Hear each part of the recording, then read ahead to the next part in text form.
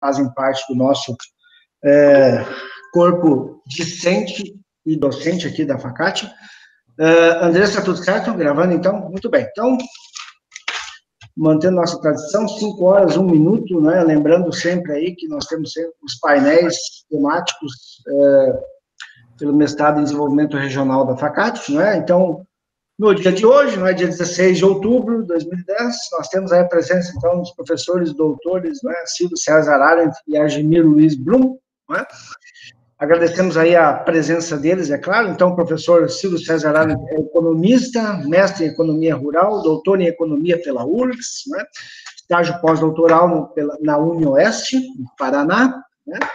É professor titular da Universidade de Santa Cruz do Sul, a Unisc, Departamento de Gestão de Negócios e Comunicação, e do Programa de Pós-Graduação em Desenvolvimento Regional com atividades de docência e pesquisa no PPGDR e nos cursos de Ciências Econômicas e Relações Internacionais, nas áreas de meio ambiente, desenvolvimento sustentável, desenvolvimento econômico, desenvolvimento regional, teoria dos jogos e métodos quantitativos, com ênfase em econometria e economia brasileira. Né?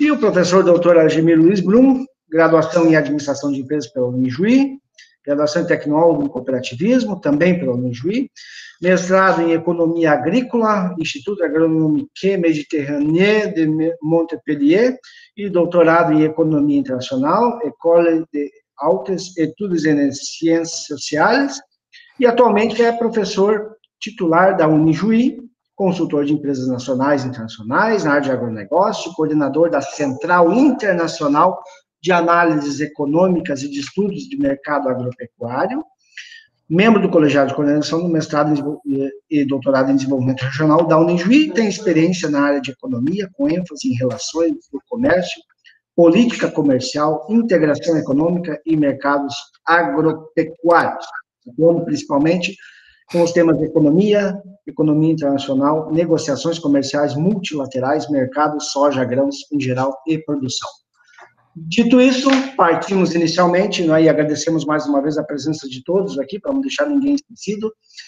O professor Mário Rida, o coordenador do nosso mestrado, teve uma consulta médica, então ele não pode participar. Na sequência, então, professor doutor Argemiro Luiz Brum, tudo com você e muito obrigado pelo aceite do convite, que muito nos honra nessa tarde de sexta-feira. Então, fique à vontade, estamos à sua disposição aí virtualmente, o espaço e a casa são suas aqui. Muito bem, muito obrigado. Uma boa tarde a todos os que aqui participam. E agradecer uh, diretamente a você, Marcos Paulo, pelo convite e pela possibilidade de estarmos, neste momento, discutindo e apresentando algumas ideias sobre esse tema tão importante que é a economia regional e a sustentabilidade. Eu vou compartilhar, então, a minha apresentação com vocês, espero que, que a parte tecnológica funcione adequadamente, senão vou pedir socorro aí, Marcos Paulo, mas acredito que não tenha problema. Uh, vamos lá, vamos ver.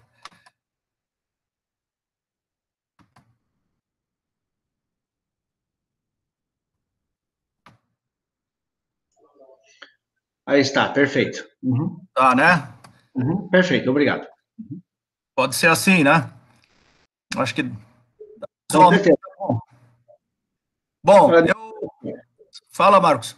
Não, para mim tudo certo. Para mim, eh, tudo certo. Estamos visualizando. Acredito que todos estão aí. Fica bem à tá, vontade. Tá, ok. Uh, eu tomei a liberdade de construir essa minha fala de 20 minutos, meia hora no máximo, em dando uma ideia geral do que a gente entende por economia regional e, a posteriori, a questão da sustentabilidade relacionada a isso e, particularmente, quais são as novas propostas, novas, as atuais propostas, eu diria, que pelo mundo afora estão surgindo na tentativa de tornar sustentável, se é podemos dizer assim, uh, o mundo atual, né? E, e, obviamente, tem alguns desafios, algumas propostas polêmicas e interessantes que surgem aí, e que nós vamos abordar, ou pelo menos colocar na mesa aí, como se diz, uh, para depois, uh, em, em, um tempo necessário, podermos debater um pouco. Bom, uh, para não perdermos tempo, né, já que urge, né, a primeira coisa que eu gostaria de salientar é que, em termos de economia regional, pelo, pelo lado conceitual, né, uh, esta, vamos dizer assim, esse estudo, essa matéria, essa disciplina, esse, esse, essa ideia se insere no contexto daquilo que nós consideramos economia espacial. E, sendo assim, a sua abordagem é macroeconômica. É, ela se ocupa, a economia regional, de agrupamentos ou aglomerações das atividades econômicas das atividades sociais, políticas, administrativas, interrelacionadas e próximas, né, dentro de áreas geográficas que nós chamamos por aqui de regiões. Ah, e daí vem o nome, então, economia regional. Ah, se nós olharmos pela ótica disciplinar, né, os diferentes autores, muitos deles, nos colocam que a importância da economia regional estaria ligada às necessidades de aprendizado das especificidades das regiões e à necessidade de aprendê-las enquanto bases produtivas ou dinâmicas dentro dessas regiões, nesse contexto regional. Torna-se assim um instrumento importante para concepções de políticas de âmbitos nacional e internacional com o objetivo de redução de desigualdades ou de simples avaliações das situações. Então, ela trata da distribuição desigual dos recursos e de sua mobilidade nas diferentes regiões mundo afora, e, obviamente, se quisermos diminuir o espaço geográfico no Brasil e também, por que não, no nosso estado. Cada, cada local tem as suas diferentes regiões específicas, tudo depende de como a gente vai conceituar a dimensão destas regiões. Então, a economia regional depara-se, em princípio, com cinco problemas principais, não que não tenhamos outros, mas eu destaco aqui cinco problemas principais. Primeiro, identificar as indústrias a implantar com prioridade em cada região, né, que tipo de indústria implantar em cada região, visando maximizar o crescimento regional e assegurar rentabilidade satisfatória para o tal empreendimento industrial. Considerando que a indústria pode ser, sim, uh, um elemento de crescimento e de desenvolvimento, por que não, na região. Segundo, aumentar a renda per capita e os níveis de emprego regionais. Terceiro, proporcionar a integração interna do Parque Industrial Regional e também, por que não, a sua diversificação. Em quarto lugar, proporcionar o planejamento nacional com base na agregação dos planejamentos regionais, de sorte a obter-se alocação racional dos recursos escassos. E, por fim, ocupar mais racionalmente o espaço nacional, repartindo da melhor forma possível as pessoas, os homens, então, as pessoas, e as atividades econômicas. Então, é, estes seriam os cinco problemas principais que a economia regional, em princípio, se depara e procura solucionar, digamos assim, na medida do possível, conforme a ótica que nós aqui estamos considerando, pelo menos eu particularmente estou considerando. Há desafios estruturais, então, nesse contexto, né? por parte da economia regional. Eu saliento aqui três deles. Né? Organizar economicamente as regiões para que as mesmas se insiram na economia de mercado.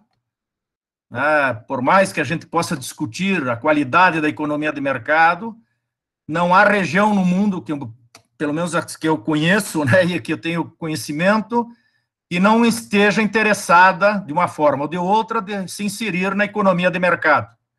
Dito de outra maneira, ninguém quer ficar ausente do processo econômico geral.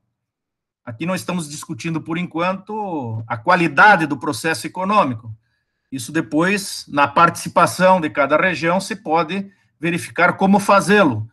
Mas a ideia de ficar fora da economia de mercado não passa, em princípio, pelas diferentes regiões que estão presentes no mundo, inclusive aqui entre nós. Ah, eu tenho dificuldades, portanto, de, de, aceitar ou de verificar que uma região como Taquara, por exemplo, aí onde está Facate, é, estaria ou poderia estar se posicionando de forma a não participar da economia de mercado, não só da região, da, do conjunto do Estado é, e da região Mercosul, mas do Brasil e do mundo inteiro. Né? Então, esse é um desafio estrutural. Como nos organizarmos regionalmente, economicamente falando, para que nos mantenhamos e que nos insiramos na, na economia de mercado. O outro desafio estrutural é reproduzir o um modelo econômico com sustentabilidade. Bom, aí vem todo o debate do que seria a sustentabilidade, como podemos ver isso e uma série de questões. Por enquanto, vamos ficar com essa expressão, né? Então, como reproduzir esse modelo econômico com sustentabilidade, deixando caminhos para as gerações futuras continuarem reproduzindo o modelo, né? se for o caso, né? De maneiras a que a inserção na economia eh, das regiões se mantenha. E terceiro aspecto, o terceiro desafio estrutural, construir outro modelo econômico que priorize a sustentabilidade, talvez, em termos temporais e ambientais, temporais em termos do longo prazo, né, de longo tempo, na lógica de que a mesma é um valor. Ah, hoje tem muito esse debate, igualmente, de que é preciso observar né, que a sustentabilidade é um valor. Ah, um dos autores que pensam sobre isso é o José Eli da Veiga, por exemplo, né, e escreve sobre isso.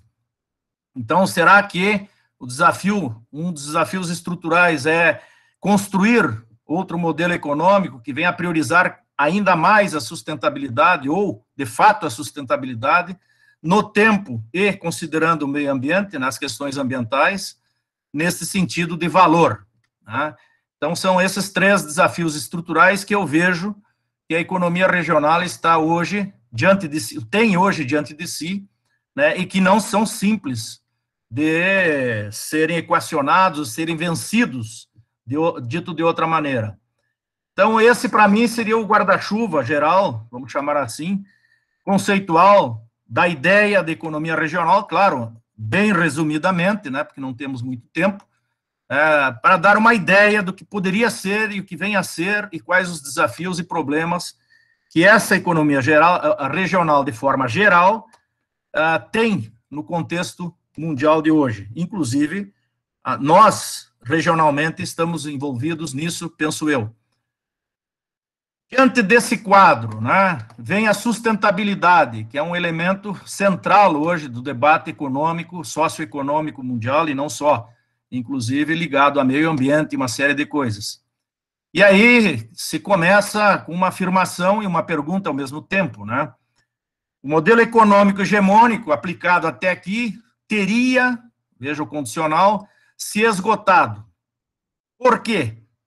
Bom, diferentes autores, diferentes estudos e diferentes debates com quem a gente faz e tem participado avançam pelo menos uh, três porquês, ou três explicações, né? Primeiro, porque a atividade industrial gerou uma poluição que degrada cada vez mais a qualidade de vida das pessoas no mundo inteiro.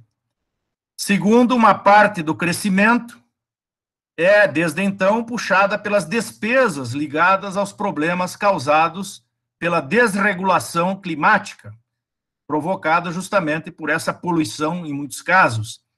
É, inundações, secas, é, mudanças gerais que nós estamos vivenciando, inclusive aqui nesse estado.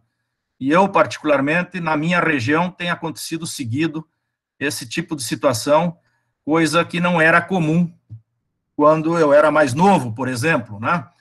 Ah, e terceiro, os frutos deste crescimento são cada vez menos bem repartidos entre as classes sociais.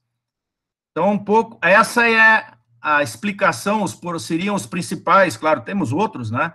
Eu destacaria aqui os principais porquês da afirmação de que o modelo hegemônico, o modelo econômico hegemônico que nos trouxe até aqui, em termos mundiais, teria se esgotado em função disso, né? sobretudo na lógica de melhorar a qualidade de vida e o bem-estar social das populações, pensando em um real desenvolvimento, né? que não passe só por questões relativas à economia, à, à geração de riqueza, propriamente dito, mesmo porque crescimento econômico não é sinônimo de desenvolvimento.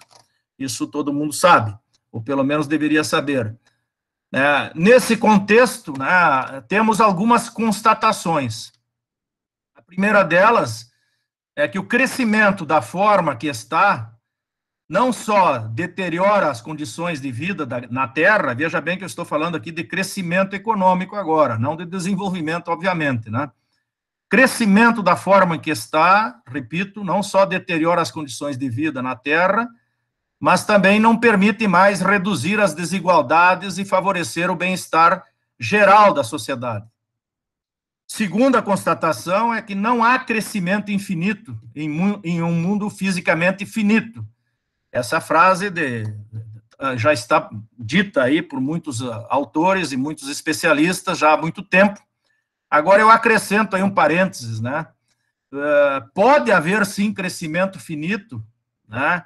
Em se perpetuando e aprofundando as desigualdades sociais e econômicas. O que nós notamos é que aqueles mais aquinhoados, a sociedade mais aquinhoada, que tem mais, consegue mais condições por um motivo ou outro, né, de estar bem situada socialmente e economicamente, e não tem as dificuldades né, socioeconômicas para sobreviver, ela considera que esse crescimento que aí está, salvo exceções, obviamente, mas considera que esse crescimento que aí está está adequado e que não precisa fazer grandes mudanças, inclusive muitos presentes nesse segmento específico da sociedade, que é uma minoria em termos mundiais, diga-se de passagem, ah, até nem aceita ah, a questão ambiental como um debate importante, né?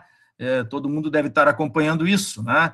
E aí surge o que nós hoje começamos a falar com mais propriedade aqui no Brasil e no mundo do, do negacionismo a algumas situações que o mundo enfrenta, né? Ah, e por aí vai. Então, essa é uma questão também para mim importante, né? Ah, que tem mostrado exatamente isso, né? Essa, esse segmento mais privilegiado na distribuição de renda, na, na questão social, socioeconômica geral, tem até hoje prevalecido sobre o restante da sociedade mundial no encaminhamento da, da economia e das, da, da sustentabilidade como ele julga que deve ser e da própria gestão da economia regional e é para além dela, né, no meu ponto de vista. Bom, nesse contexto, né, surge, vem surgindo uma proposta mundial. Não é a proposta, atenção, é uma proposta mundial que eu destaco aqui, que chama atenção, e que eu acho particularmente que a tendência mundial, se quisermos melhorar essas condições de sustentabilidade, distribuirmos melhor ou diminuirmos a desigualdade, vai acabar tendo que passar um pouco por isso aí também, que é o quê? Primeiro, o mundo precisaria caminhar, então, para aquilo que está se chamando de pós-crescimento, ou decrescimento da economia. É, para muitos, o decrescimento da economia é uma, é uma expressão um tanto ruim, porque ela parece negativo, parece diminuir as coisas e tudo mais. Então, está se usando muito o pós-crescimento como uma alternativa de expressão para essa proposta. Devido ao quê? A cristalização de que a expansão econômica não permite mais a redução das desigualdades. Essa expansão que aí está. Além de estar alimentando o aquecimento climático global e uma série de outras questões relativas ao meio ambiente. Segundo, como modificar nossos modos de vida e hábitos de consumo para limitar nosso impacto sobre o meio ambiente. E como associar tais mudanças à dita justiça social? E aí vem a grande pergunta, né? Quem pagará a conta destas mudanças? E quem aceitará pagar a conta? Também tem isso, né? Porque pode-se definir quem paga a conta, como socialmente o mundo já sabe quem vem pagando a conta de, das diferentes decisões tomadas na história da humanidade, mas nem sempre quem tem que pagar a conta aceita pagar esta conta, principalmente no momento com uma, uma proposta desse tipo, que significa decrescer ou diminuir o crescimento, o ritmo de crescimento, em especial junto às sociedades mais abastadas. Bem, a resposta, em princípio, que o próprio trabalho eh, e os debates vêm trazendo é de que é preciso, certo, sim, decrescimento econômico, e esse debate não é novo. Né? Quem acompanha isso já deve ter visto que é um debate que se iniciou lá nos anos de 1970 e que ganhou mais propriedade e retorna hoje ao cenário internacional eh, nos anos 2000. E neste debate, alguns rejeitam, por exemplo, as noções de crescimento verde e de desenvolvimento sustentável. Né? Ah, segundo estes alguns, né, se me permitem o português, ah, isso não passaria de marketing para impedir as verdadeiras mudanças que se precisa fazer nesse modelo econômico hegemônico que está aí. Já outros defendem que todas as iniciativas no sentido do decrescimento são bem-vindas, inclusive o controle da natalidade, por exemplo. Em todo caso, em comum, os dois lados defendem que o produto interno bruto, conhecido PIB, não pode continuar sendo o centro das políticas públicas. Ou seja, o objetivo, a gente fala toda hora nisso, né? É aumentar o crescimento da economia, melhorar o crescimento da economia. Ora, só isso não basta. E isso talvez não é para essas ideias que estão aí, o PIB não deve ser mais o centro das atenções, embora gerar riqueza seja continue sendo importante, né? não dá para negar. Os defensores de um outro modelo econômico, então, apontam que, ao invés de privilegiar o PIB, é preciso dar atenção a uma série de outros elementos, indicadores, e aí entra, então, o que o Silvio provavelmente vai nos falar na sua fala na sequência, indicadores estes que permitam medir o grau de igualdade, a saúde, a geração de carbono, né, e talvez o bem-estar da população. Né? Defende, inclusive, que os governos não devem, não devem mais situar suas estratégias em busca de maior crescimento, mas sim em torno do bem-estar da população. Bom, é nesse sentido, inclusive, que se criou, lá em 1990, o IDH, o Índice de Desenvolvimento Humano, para tentar fazer um contraponto ao PIB e tentar medir, então, de uma certa maneira, como, ah, através do IDH, se possa situar os diferentes países, as diferentes regiões, as diferentes nações, levando em consideração esses outros elementos que não seja só o crescimento econômico.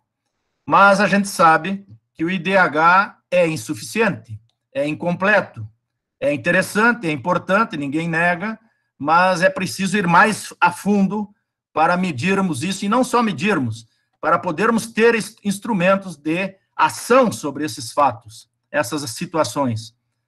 Isso implica, então, em transformar os comportamentos individuais, obviamente, mas também a forma como funcionam os estados, o sistema fiscal, os sistemas sociais. Como fazer isso? A ideia, a proposta desse modelo novo, aí, dessa situação que está aí, seria o seguinte: aumentando as taxas por exemplo, sobre a energia fóssil, visando acelerar o uso de energias renováveis, aumentando taxas sobre bens e serviços que têm impacto negativo no meio ambiente, aumentando as taxas sobre as famílias ricas, visando limitar as desigualdades. Eh, muitos, inclusive, preconizam a instauração de uma renda universal, com redução do tempo de trabalho para melhor repartir o emprego e terminar com os empregos inúteis, por exemplo, e aí todo, vem todo o debate o que seria emprego inútil dentro desse contexto, né? instalar a gratuidade nos serviços públicos de base e por aí vai. Mas a questão que volta sempre nesse meio do caminho, a partir dessas próprias sugestões, é quem paga a conta para fazer isso? Da onde sairá o dinheiro para fazer a aplicação destas propostas neste sentido. Então, o, pra, o, problema maior é que a ideia de decrescimento econômico também, e aí vem a questão de pagar a conta, né? É, não é só a questão de desembolsar dinheiro, é quem poderá deixar de crescer menos, de viver com uma qualidade de vida um pouco menor para outros viverem melhores, de, de forma melhor. Então, o problema maior é que a ideia desse decrescimento, pós-crescimento econômico, não encontra hoje eco suficiente no sistema político mundial. E para os defensores do decrescimento, uma mudança de modelo resultaria em relocalização no lugar da mundialização, cooperativas frente à concorrência, gratuidade contra a mercantilização de tudo e uma série de coisas. Agora, como a gente sabe, né, é bonito falar, quando se fala em gratuidade, né? Agora, por trás tem alguém que produz isso, que gera isso, essa riqueza. Alguém vai ter que pagar isso. E esse é todo o debate que se instala no cenário internacional. Já os economistas que não concordam com o movimento este de decrescimento econômico estimam justamente que a proposta não é realista e é de difícil aplicação. A PIB mundial igual, uma melhor divisão de riqueza, segundo eles, entre os continentes, por exemplo, e entre as regiões, implicaria ou implica em uma baixa de renda dificilmente suportável socialmente junto aos países ricos. Ora, é interessante esse debate, né? É óbvio que os países ricos, no meu ponto de vista, não vão aceitar isso assim tão simples. Agora, é socialmente injusto tudo isso que está aí sobre os demais países, né? Mais pobres e tudo mais. Então, essa explicação me parece altamente insuficiente, né?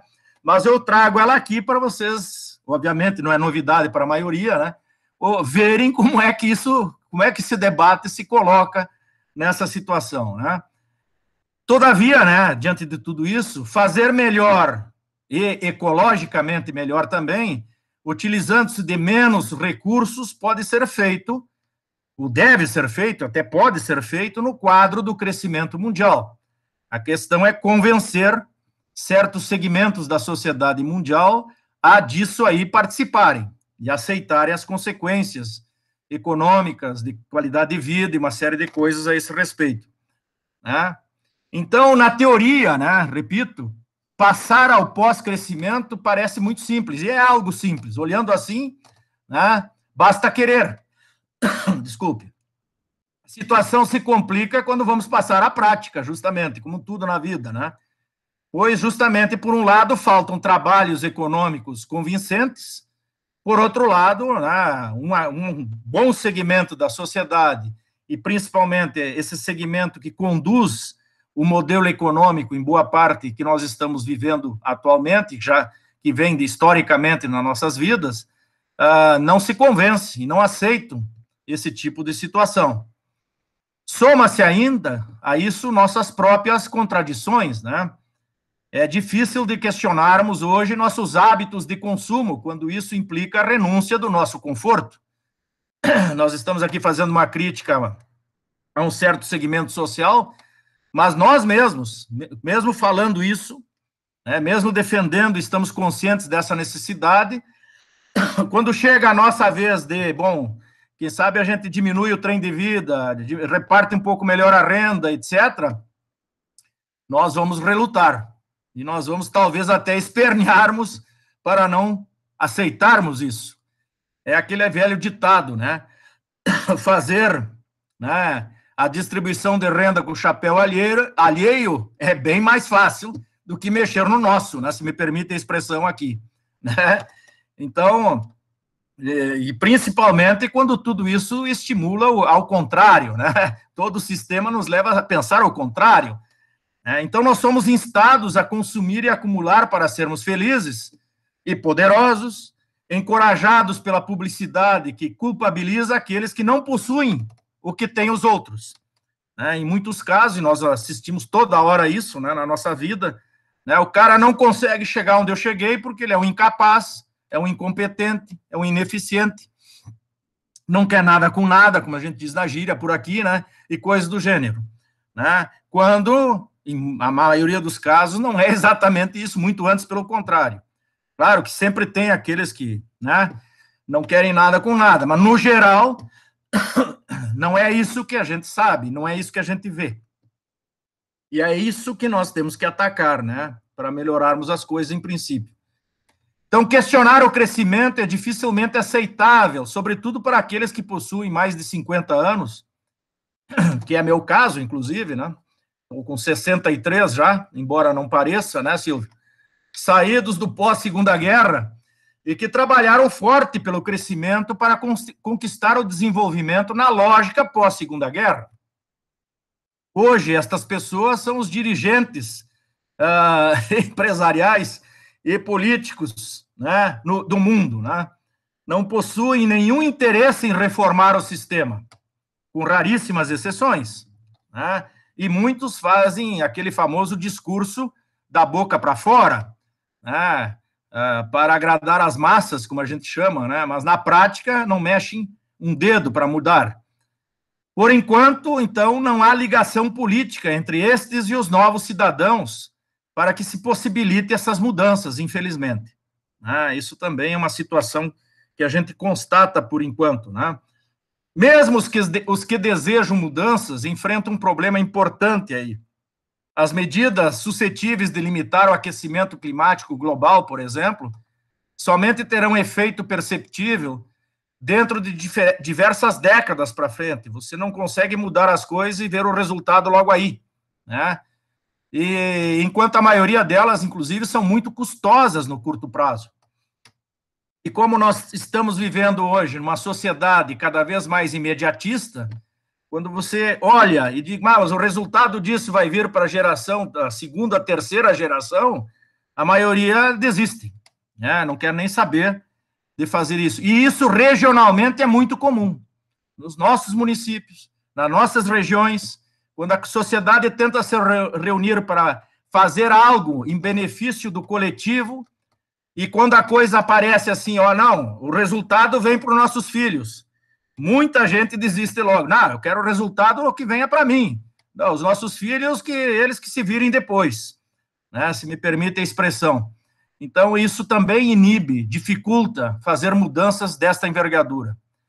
Entretanto, né, o que se vê e muitos acreditam, né, que a mudança virá das novas gerações e que não e não avançarão dentro do mito do crescimento feliz, isto é, essas novas gerações que estão aí já estão enfrentando dificuldades, né? Que a geração do pós Segunda Guerra Mundial, do crescimento e desenvolvimento e aquela economia bombando, como a gente diz e tudo mais, eles já não vivem mais isso já há algum tempo no mundo, né? E talvez, possivelmente, segundo uh, esses analistas, e principalmente quem é dessa corrente de pensamento, serão estas pessoas, estes jovens de hoje, essa geração de agora e as futuras, é que vão transformar o coração do sistema. E aqui eu pus em vermelho, inclusive, para chamar a atenção, né? Por pura necessidade de sobrevivência. Né? Ou seja, vamos chegar a um estágio tal que ou mudamos ou explode, ou as coisas vão ficar insustentáveis, né, para a grande maioria, como já está em muitos casos, da população mundial, né, e criando um caos aí, não só, social, mas econômico também, socioeconômico, e depois político, etc, etc. Bom, aí eu já estou no limite, né, eu sei que está na hora, né, eu só vou adiantar aqui um caminho que foi publicado, foi divulgado, né, proposto por 37 é, cientistas no início do ano passado, 2019. Esses cientistas representavam 16 países do mundo e eles divulgaram um estudo, depois de três anos de trabalho e de pesquisa, intitulado o estudo, em português aqui, né, traduzido, Um Regime de Saúde Planetário. É, e eu vou passar rapidamente uma breve síntese do que seria é, o resultado desse caminho o caminho, então, que esse grupo de cientistas está propondo dentro dessa ideia de um novo modelo econômico de sustentabilidade para o mundo. Eles partem do princípio da pergunta que está aí: como alimentar 10 bilhões de pessoas em 2050, que é a população que a ONU estima que o planeta terá naquela data, ao mesmo tempo em que se melhora a saúde humana e se preserva o planeta, ambientalmente falando. O estudo responde o seguinte, e aí eu vou deixar na mesa aí para debatermos também, obviamente. A produção agroalimentar é o principal fator de degradação do meio ambiente e da transgressão dos limites planetários. Ora, mesmo em um contexto de crescimento demográfico, será possível, sim, segundo eles, se alimentar de forma mais sadia e sustentável, sem negar a importância da produção agroalimentar. Né? E, inclusive, eu diria, sem negar, negar a importância do agronegócio, que nós batizamos hoje por aqui, o agribusiness, que seja. E agora eu vejo que o Silvio lembra né, que hoje, 16 de outubro, é o dia, justamente, né, da segurança alimentar mundial. Né? O mundo uh, estabeleceu esse dia como referência. Né? Bem lembrado, Silvio. E, de fato, né, essa é uma questão que se coloca aí. Bom, e o que, que eles propõem, então? Eles, em primeiro lugar, eles chamam a atenção, antes que alguém arrepie, né, de que não se trata de colocar o mundo em dieta, mas sim de equilibrar melhor o consumo mundial de calorias, sem também impor um regime único alimentar para o mundo inteiro teria que se obedecer às especificidades regionais também.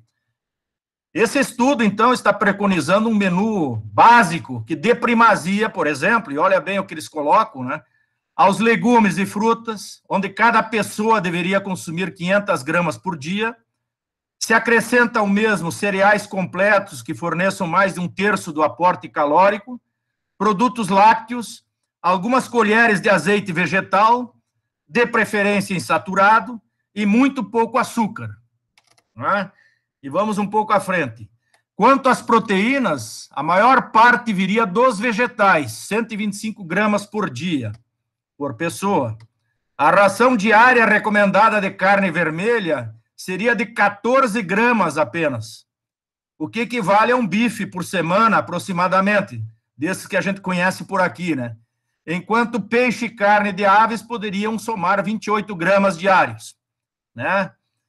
Tal menu permitiria uma alimentação sadia, que, para se viabilizar, dobraria o consumo mundial de frutas, legumes, nozes, leguminosas, e reduziria em mais de 50% o consumo de carne e de açúcares. Obviamente, como eu disse antes, né, segundo eles, este menu seria flexível para levar em conta a diversidade dos sistemas agrícolas, das tradições culturais e das preferências individuais. Bom, né, é, e também né, os diferentes níveis de vida entre os países e as desigualdades de acesso às fontes alimentícias, né, isso teria que ser levado em conta. Agora, na prática, implicaria que um norte-americano, por exemplo, terá que dividir por seis sua ração de carne vermelha. Pode-se imaginar quanto seria a redução para um brasileiro aqui do Sul, que gosta muito do churrasco e de carne vermelha todo dia, né? Assim como um argentino um uruguaio, né? Como fazer que essa população, essas regiões aceitem uma mudança radical, né? Talvez não tanto para essas regiões devido aos seus hábitos, mas que seria uma mudança significativa de um hábito alimentar, né? Seria um respeito coletivo a tal ração alimentar que reduziria em 20%, segundo o estudo ainda, né, a mortalidade de adultos no mundo inteiro. Bueno, dito isso, né, a outra questão que se põe rapidamente aqui não é só a questão do hábito alimentar, vocês imaginem o impacto econômico na, gera, na produção né, bovina no mundo, na produção de lácteos, na produção de outras carnes e na produção de frutas, legumes, etc, etc. Teria que haver toda uma reestruturação. Aliás, toda essa proposta, né, que nós estamos discutindo aqui de sustentabilidade, bem ou mal passa por coisas desse tipo. Esse é um caminho proposto que eu trago aqui para os senhores para a gente refletir um pouco, né? Ah, e que me chamou a atenção aí. Bom, um tal regime seria compatível com a produção alimentar que não consuma os ecossistemas para além de seus limites, estabilizando aí o efeito estufa, o uso da terra ocupada pela agricultura. Eu tenho um pouco de, de dúvidas sobre isso, mas em todo caso esse é um debate, né? E o consumo de água disponível no planeta, fato então que poderia melhorar a biodiversidade. Ao mesmo tempo, segundo o estudo, ainda o consumo de adubos nitrogenados e fosfatados terá que diminuir consideravelmente. Esta receita somente será possível instalar a partir de cinco estratégias propostas pelo estudo em escala global. E aí vem as dúvidas, né? Será que reduzindo a parte química né, da adubação, a produtividade será suficiente para dar conta de alimentar 10 bilhões de pessoas, mesmo nesse novo modelo alimentar? Né, que é todo o debate hoje que se tem daqueles que defendem o atual sistema produtivo mundial, né? E as revoluções verdes que estão que aconteceram e que vem acontecendo uh, em termos de biotecnologia, etc, etc. Então, quais seriam, aí eu estou terminando, né? Quais seriam, então, as propostas em escala global para viabilizar tudo isso? Um compromisso internacional na direção de uma transição para uma alimentação sadia, né? Uh, uma reorientação das prioridades agrícolas na direção de produtos de maior qualidade, uma intensificação da produção alimentícia, porém sobre um modelo sustentável, uma governança forte e coordenada das terras e dos oceanos, uma redução de pelo menos metade das perdas e desperdícios, que as, as quais atingem hoje 30% da produção de alimentos no mundo. Bom, no papel, muito bonito. A questão, como sempre, é como executar isso e como fazer a sociedade praticar esse tipo de coisa dentro desse contexto que nós estamos analisando aqui uh, até esse momento. Né? Então, o, o estudo mostra que uma alimentação melhor para a saúde é melhor para o meio ambiente, sem dúvida. Tal proposta de um regime planetário para a saúde, segundo ele, seria equivalente na área alimentícia ao objetivo esse de menos 2 graus centígrados de aquecimento global que os países estão buscando hoje obter a partir do Acordo Mundial sobre o Clima. Na equivalência de importância, então, para termos uma ideia. Seria, então, seria esta, então, uma solução à crise alimentar e à insustentabilidade do sistema produtivo que ameaça a existência humana no futuro não muito distante? Pergunta, né? O problema é convencer novamente as populações, os governos e as indústrias agroalimentares a se responsabilizarem conjuntamente para com esta mudança, a qual os pesquisadores estão chamando de nova revolução agrícola mundial. Tá? E sem dúvida, se isso vier a acontecer, será de fato uma grande revolução agrícola mundial. Bom, e aí, para finalizar, né, diante de tudo isso que eu expus aí, eu deixo mais duas perguntas, né? A solução passaria pela mudança, ou seria uma adaptação, dos padrões de produção e de consumo contemporâneos? E segundo, as economias regionais poderiam assumir um papel de referência em tal revisão e na concepção de um novo padrão de produção e consumo mais igualitário e sustentável? Ah, e claro que aí teria que colocar logo em seguida um porquê, né? Bom, enfim, é isso que eu gostaria de deixar para vocês neste espaço, que já me estendi demais, né? Agradecer a atenção de vocês, muito obrigado, desculpe alguma coisa, e fico à disposição para trocarmos algumas ideias na medida do possível. Agora passo a palavra, então, para o Silvio, né? É, é isso mesmo, professor Gemiro Luiz Brum, mais uma vez, sempre uma grata satisfação de ouvir, também, claro, mesmo virtualmente, de, de encontrar aqui. E já de antemão, já também adiantamos, né, professor Silvio, passamos aí para o senhor, não é? E na sequência, uh, talvez Admiro apenas uh, finalize aí a tua apresentação para passar para o Silvio. Sim, já, já, em princípio, sair fora. Para mim aqui ainda aparece. Aparece? É. Para, para, para, para, então. Isso, tem que Eu? Ainda parece que ainda parece você apresentando aqui para mim, pelo menos. Estranho, porque eu ocultei, já saí, tirei fora, mas vou tentar fazer mais algum segredo aqui. Tem, não tenho mais o que fazer. Janel... Tem duas janelinhas ali, Argemiro. Essa mais estreitinha à direita, aí, interromper. Aqui? Isso, interromper. interromper. Ah, Cola. Isso. Isso, isso, é. Eu apertei o botão errado aí.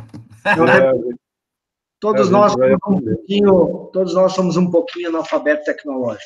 Aí é... é aquela famosa pecinha entre a cadeira e o computador, sabe? Quando faz isso aí.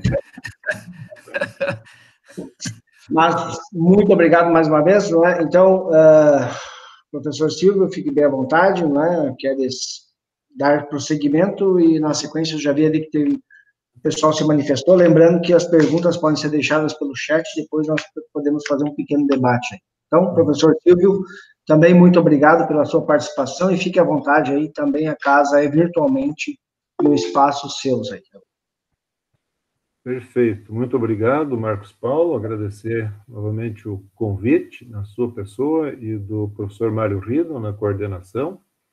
Um prazer poder comentar, trazer um pouquinho da nossa experiência, das nossas atividades aqui do PGDR. Prever um ex-aluno aí, eu sou culpado um pouco da trajetória dele, enquanto aluno, e também dei o ok na dissertação e na tese, né? Então, se está aí, tem né? A gente diz assim, o nosso aval também está fazendo um belo trabalho aí na, na FACAT. Né? Eu até fiquei pensando aqui, enquanto eu ouvia o Argemiro apresentar, mas acho que eu nem vou apresentar nada, aí vamos pegar alguns pontos dele, vou debater aí, porque essa ideia do decrescimento eu também trabalho aqui no PGDR, na cadeira de Meio Ambiente e Desenvolvimento, e dá um pano para manga aí enorme na, na discussão. Né? Mesmo sem nós termos uh, conversado antes, definido quem falaria o que, qual seria a abordagem, acho que, de certa forma, elas acabam convergindo, né? porque nós temos, de fato, uma visão de mundo muito próxima, né? uma perspectiva que aponta para necessidades de reformas, de mudança, de revisões, né? O Argemiro estudou na França, então está muito mais perto da escola do decrescimento, do Latouche, toda aquela turma que tem uma excelente contribuição para isso, né? de repensar, de revisar todo este modelo. Hoje a gente é muitas é levado a acreditar que a culpa do insucesso, do fracasso é uma questão individual e não do sistema que nos coloca nessas condições. Né? Eh, bom, eu trouxe uma parte um pouco diferente, pensando um pouco uh, em sustentabilidade, mas não em sustentabilidade exato, mas muito mais no sentido de mensurar e de acompanhar. A, minha discussão vai mais na linha dos indicadores de desenvolvimento. O Gemiro já tocou, depois disse, acho que o senhor vai falar, Agora eu não posso mais me calar, não posso dar desculpa, vamos discutir o que gente falou, que tá bom e tal. Né? Então, eu tenho aí uma. Eu acho que dá uns 200 slides, é para falar, vai ser rapidinho, né? Mas já mandei, não, é menos, não se assuste. É menos, já encaminhei para o Marcos Paulo também, uma versão em um PDF, pode distribuir para os alunos, aí tá perfeito, né? serve para para discussão um pouco do que nós estamos pensando. Uh, enquanto eu vou uh, apresentando aqui, eu vou pular algumas coisas mais uh, rápido, né? senão, de fato, a gente vai demorar muito tempo e vai até o final da noite ainda. Né? Então, passar aqui. eu sempre penso nisso com a ideia de necessidade de novos olhares pensar indicadores, pensar outras leituras, e vai nesta linha né, de uh, revisar um pouco e achar que o produto interno bruto não é de fato aquilo que é o principal. Né? Como já foi uh, comentado antes, a ideia de agronegócio, de PIB também, mas de fato né, a gente fala em PIB e qual é o custo disso do ponto de vista ambiental, do ponto de vista social, qual é o tipo de emprego que nós estamos gerando, qual é a qualidade do emprego, ou às vezes os pouquíssimos empregos, e aí chegamos a ter aí uma. Não vou nem dar algum qualificativo, né? quando a ministra diz que o boi evita desmatamento, evita queimada. Acho que não, não vou me deter a qualificar isso porque é algo inqualificável. Mas isso tem a ver com estas questões aqui. O que, que isso representa do ponto de vista do meio ambiente, este modelo? Né? Eu trago aqui como título destas reflexões o que o professor Ladislau já diz há muito tempo, aliás, sempre sugiro aí seguir a página dele, o dalbert.org, tá? que traz uma discussão super atual sobre estes temas. Né? Afinal, diz ele, né, o professor Ladislau, afinal, o que, que nós estamos medindo? É isso o que nós temos que nos preocupar. Qual é a medida exata para podermos falar em desenvolvimento? Algumas questões mais teóricas, passar assim mais uh, rapidinho. Né? Desenvolvimento é um conceito que vem mudando ao longo do tempo. Felizmente, ele vai se descolando cada vez mais da ideia de crescimento tá? e dialoga com uma série de problemas né? hoje para nós.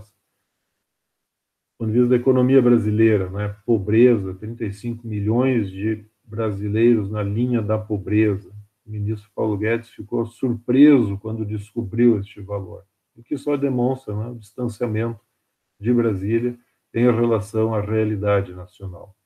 Mas a gente traz aí uma série outra de discussões também, inclusão social, novas tecnologias, novas formas de produção e de consumo, e aqui não preciso nem lembrar do pessoal do decrescimento, mas é pela necessidade mesmo de novas tecnologias para ainda este modelo que hoje tem. Então, dá para pensar bastante, tá? dá para trazer uma série de enfoques, dá para lembrar o Amartya Sen.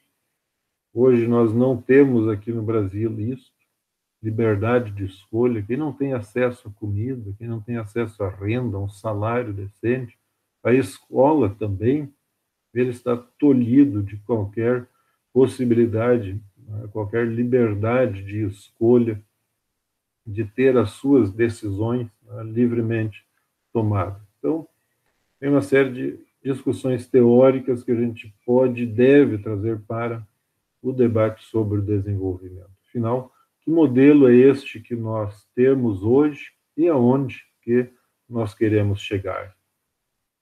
E nisto, né, nessa ideia de de onde que nós queremos chegar é que vem um pouco destas reflexões aqui a seguir. Tá? São reflexões que não vêm de hoje. Veja, estou falando aqui de 1932, um cara bastante conhecido na economia, o Kuznets, que fala das teorias de crescimento econômico, teoria e ciclo, lá Nobel em 1971, Agora, há poucos dias saiu o Nobel de Economia deste ano, do Milgram e do Wilson, aliás, uma história super legal, do Wilson acordando o Milgram no meio da noite, dizendo assim, nós ganhamos o Nobel. Né? Então, o Kuznets já diz isto lá na, na Grande Depressão dos Estados Unidos, após 29, fazendo que a ideia de bem-estar que não pode ser medido apenas exclusivamente pela renda. E olha que ele está pegando leve aqui ainda, né? Porque renda é diferente de PIB. PIB é produção. O volume que foi produzido não diz nada, não diz respeito a quem se apropriou deste resultado. Então, temos que considerar uma série outra de questões também.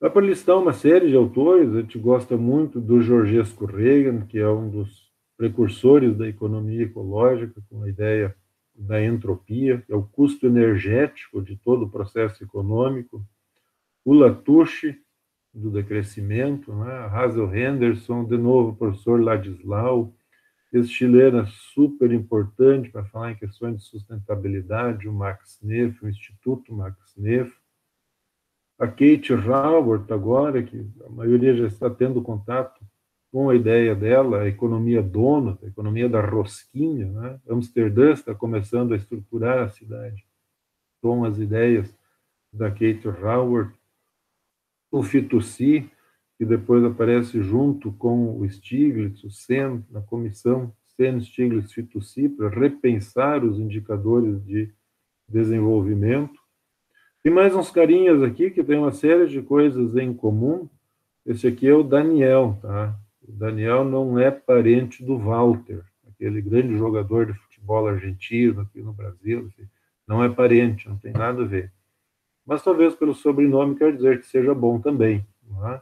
Esse é o psicólogo que pensa a parte da economia comportamental. O Solo, o Stiglitz, o Seno, o Yunus, todos esses caras são o quê? São prêmios Nobel de economia. Todos eles criticam esta ideia de progresso econômico a partir única e exclusivamente da produção. Né? PIB é produção. Tem nada a ver com renda, com meio ambiente ou coisas semelhantes. Né? Aqui só para lembrar um pouquinho, indicadores, eles partem do que? De um conceito teórico. Ele tem uma base teórica, tem uma ideia por trás da sua operacionalização. E eu lembro sempre do professor Januzzi, referência na área de indicadores sociais, e que ele diz: o indicador social apenas indica, ele mostra, mas ele não substitui o conceito que o originou. Por isso, quando a gente fala em desenvolvimento, quando a gente começa a teorizar, nós temos que pensar os conceitos, as explicações, os entendimentos, para daí ir a campo, para daí avaliar a economia regional, a economia do Estado, ou se quiserem usar outro termo para avaliar a região, para avaliar o território, tá? mas isso é uma decisão teórica que nós temos que tomar partir do nosso entendimento do mundo, da nossa visão de mundo. Então, é preciso fazer o quê? Primeiro, pensar, para depois medir, e não fazer o contrário. Primeiro, a partir do que nós pensamos, idealizamos, teorizamos sobre a nossa realidade regional, nós vamos atrás procurar indicadores, métricas para acompanhar e avaliar e não fazer o contrário. Senão, nós teremos aí uma, um resultado, né? uma medida sem teoria. Então, a ideia de um indicador é um instrumento de avaliação. Basicamente é isso, é entender qual é o estado, qual é a situação que determinada região se encontra. Nós não precisamos pensar com coisas extremamente sofisticadas. Eu já li, já dei pareceres, avaliei artigos, um refinamento teórico assim, fantástico. Mas o distanciamento da realidade é algo inacreditável. Né? Fazer análise de componente principal, verificar um cluster, juntar isso tudo e dizer que isso representa uma região, você vai lá no Conselho Regional de Desenvolvimento e pergunta qual é o entendimento, o que, que a comunidade está avaliando, sentindo, e vai ser completamente diferente do nosso método. Então, de novo, né? primeiro é preciso teorizar, pensar e depois sim partir para a avaliação mesmo e a métrica e o acompanhamento. Né? Algumas ideias rápidas aqui, só para não esquecer, não deixar passar isto em branco. Né? PIB não representa absolutamente nada a não ser produção, não engloba os custos sociais. Né? Vejam que desastres ambientais, por exemplo, eles acabam contribuindo para o PIB. É necessário contratar mais bombeiros, mais pessoas para fazer o resgate em uma área degradada. É preciso contratar máquinas, engenheiros, fazer um projeto de recuperação de uma área degradada. Tudo isso agrega o PIB. Agora, o custo ambiental disto não aparece em lugar nenhum. Então, é uma medida que só nos atrapalha e não agrega né, importância para nós. Aqui, de novo, isso depois fica, então, para vocês pensarem, um conjunto né, são seis do, do Max Neff, tá? para pensar um pouco mais a atividade econômica, para pensar mais o que de fato é importante. Então, Tudo que se pode vender não significa necessariamente aumento de bem-estar individual e coletivo. Comprar e vender, trocar mercadorias, fazer fazer a troca no mercado, não necessariamente traduz em bem-estar, não ser para aqueles que têm né, uma necessidade intrínseca de consumir, consumir, consumir, para satisfazer algo que muitas vezes nem sabe bem o que é. Né? Como bem já o Argemiro comentou antes, o sistema acaba nos levando a se confundir com bem-estar, algo que de fato não tem nada a ver. As perdas de bem-estar não aparecem em lugar nenhum, não tem valor comercial. Alguém poderia lembrar qual é o custo de ficar preso horas e horas no congestionamento, numa megalópole, né? para poder de manhã trabalhar e à noite voltar? Qual é o custo deste desprazer, deste desgosto, dessa perda de bem-estar? Tá? Na série de atividades que são prazerosas, sentar, discutir, conversar com os amigos, bater papo, contar piadas, falar bobagens, trocar artigos, papers, conversas sobre livros, novos autores, não agrega absolutamente nada ao PIB se não for feita na mesa de um bar que está vendendo uma cervejinha, uma água mineral, um sorvete para acompanhar esta conversa.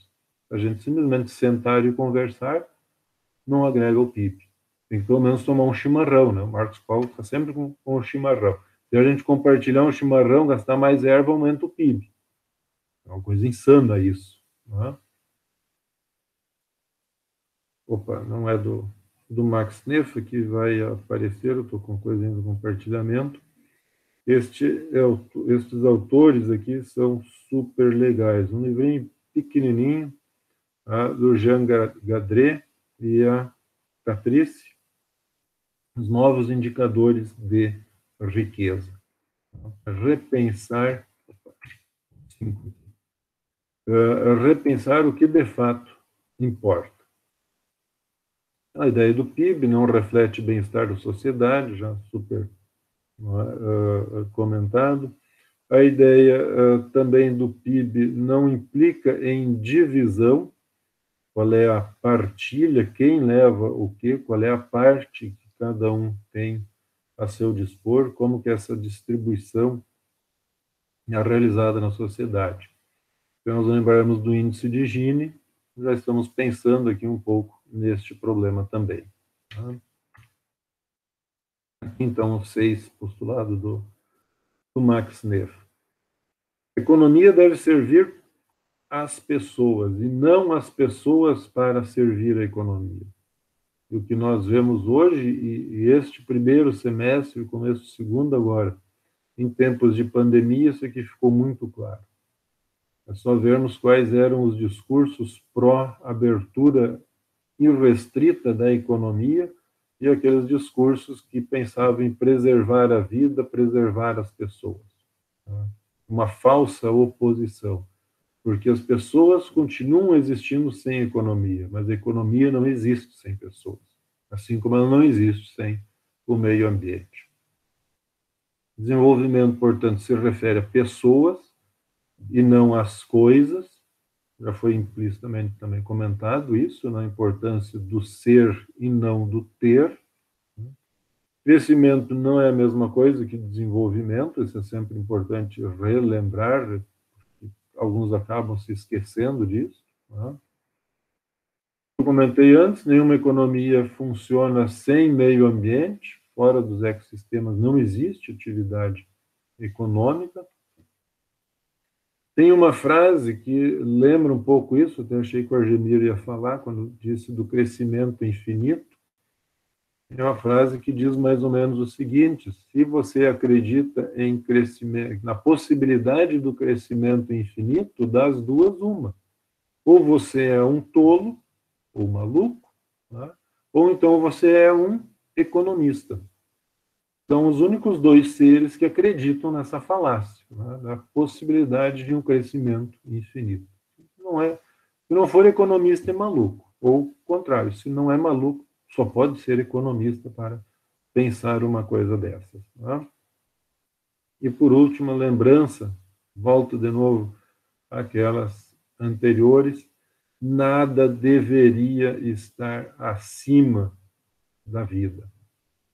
Poderia completar aqui o, o Max Neff pensando na, uh, na quarta aqui também, mas eu posso pensar vida aqui não apenas em termos humanos, né, que seria muito egocêntrico, né, antropocêntrico, uh, a vida enquanto a natureza, o meio ambiente, os animais, as plantas, a flora, a fauna, recursos minerais, etc. Então, esta deveria ser a nossa referência primeira. Infelizmente, hoje, ela não é, e a economia, como um todo, é a primeira referência. Né? Pois bem, isso remete a uma necessidade de uma nova contabilidade, uma nova contabilidade do PIB, uma nova avaliação, mensuração dos resultados do processo econômico, dos resultados da nossa convivência em sociedade. Agora, se nós pensarmos essa nova contabilidade, se nós incluirmos questões como desigualdades sociais, sustentabilidade, degradação do meio ambiente, poluição, pegada ecológica, por exemplo, depois eu tenho um mapa que representa um pouco isso.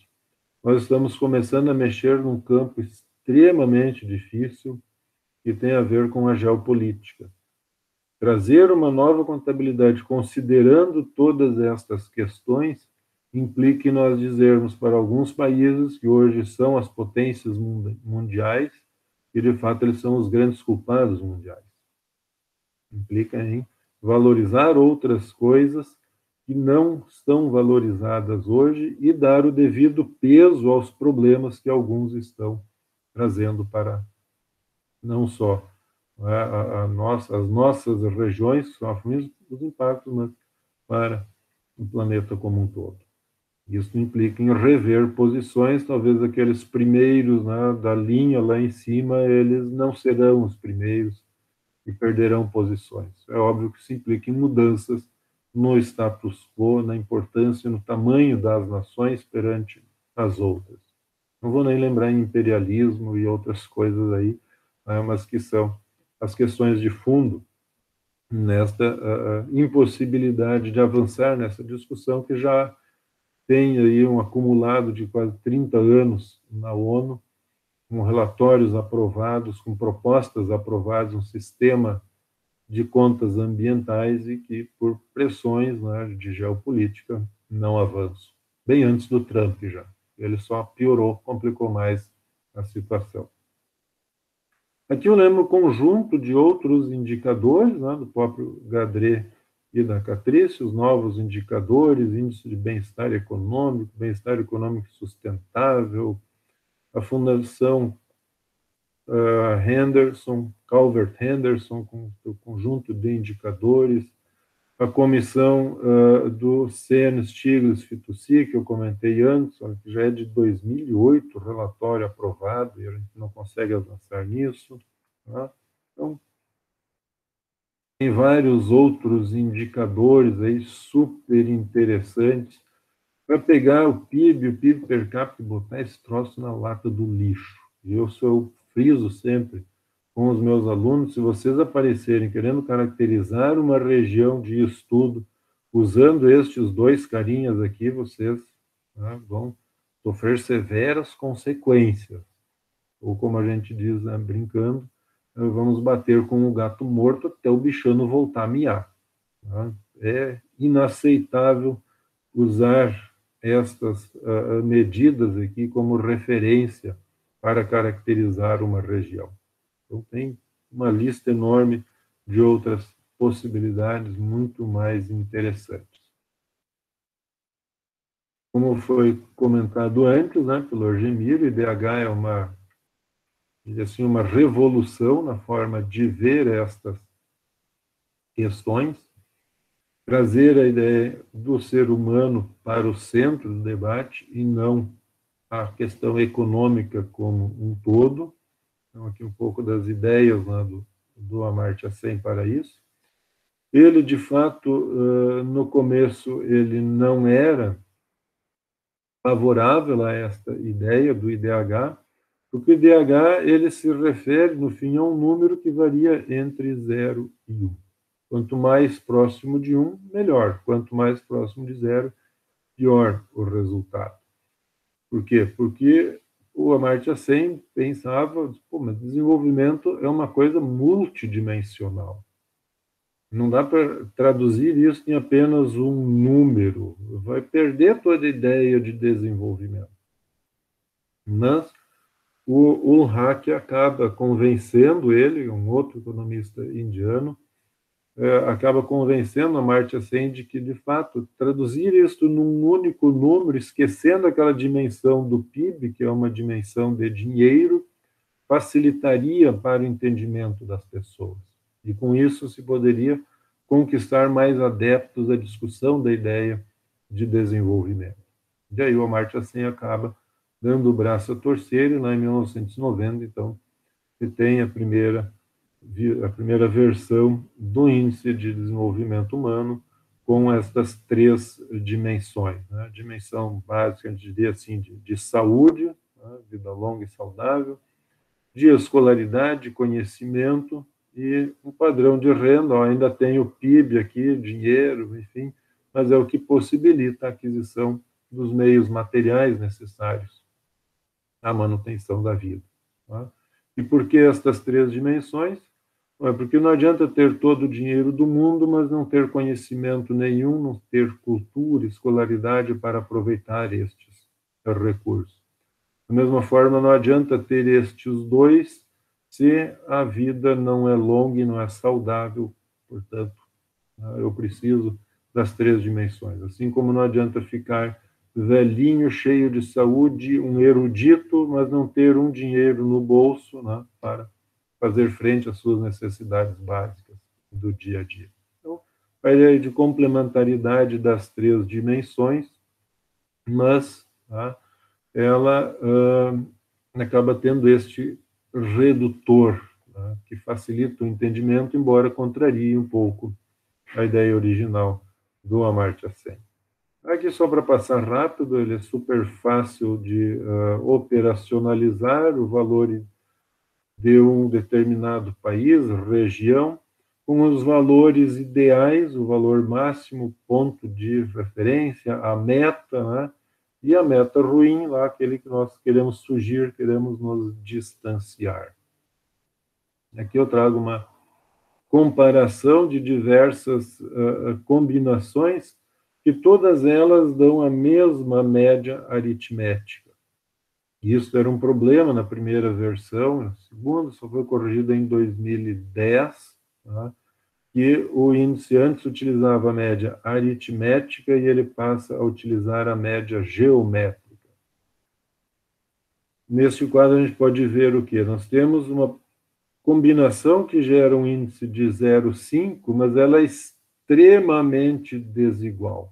Então, eu tenho uma, uma região, uma, então, uma dimensão, sei lá, a dimensão renda, aqui a dimensão saúde e aqui a escolaridade, uma região que tenha muita renda, veja que aqui não tem Gini, não tem desigualdade, mas que tem uma renda muito elevada, com um indicador ruim na saúde, uma escolaridade péssima, tá? ainda assim ela vai ter um IDH de 0,5, tá?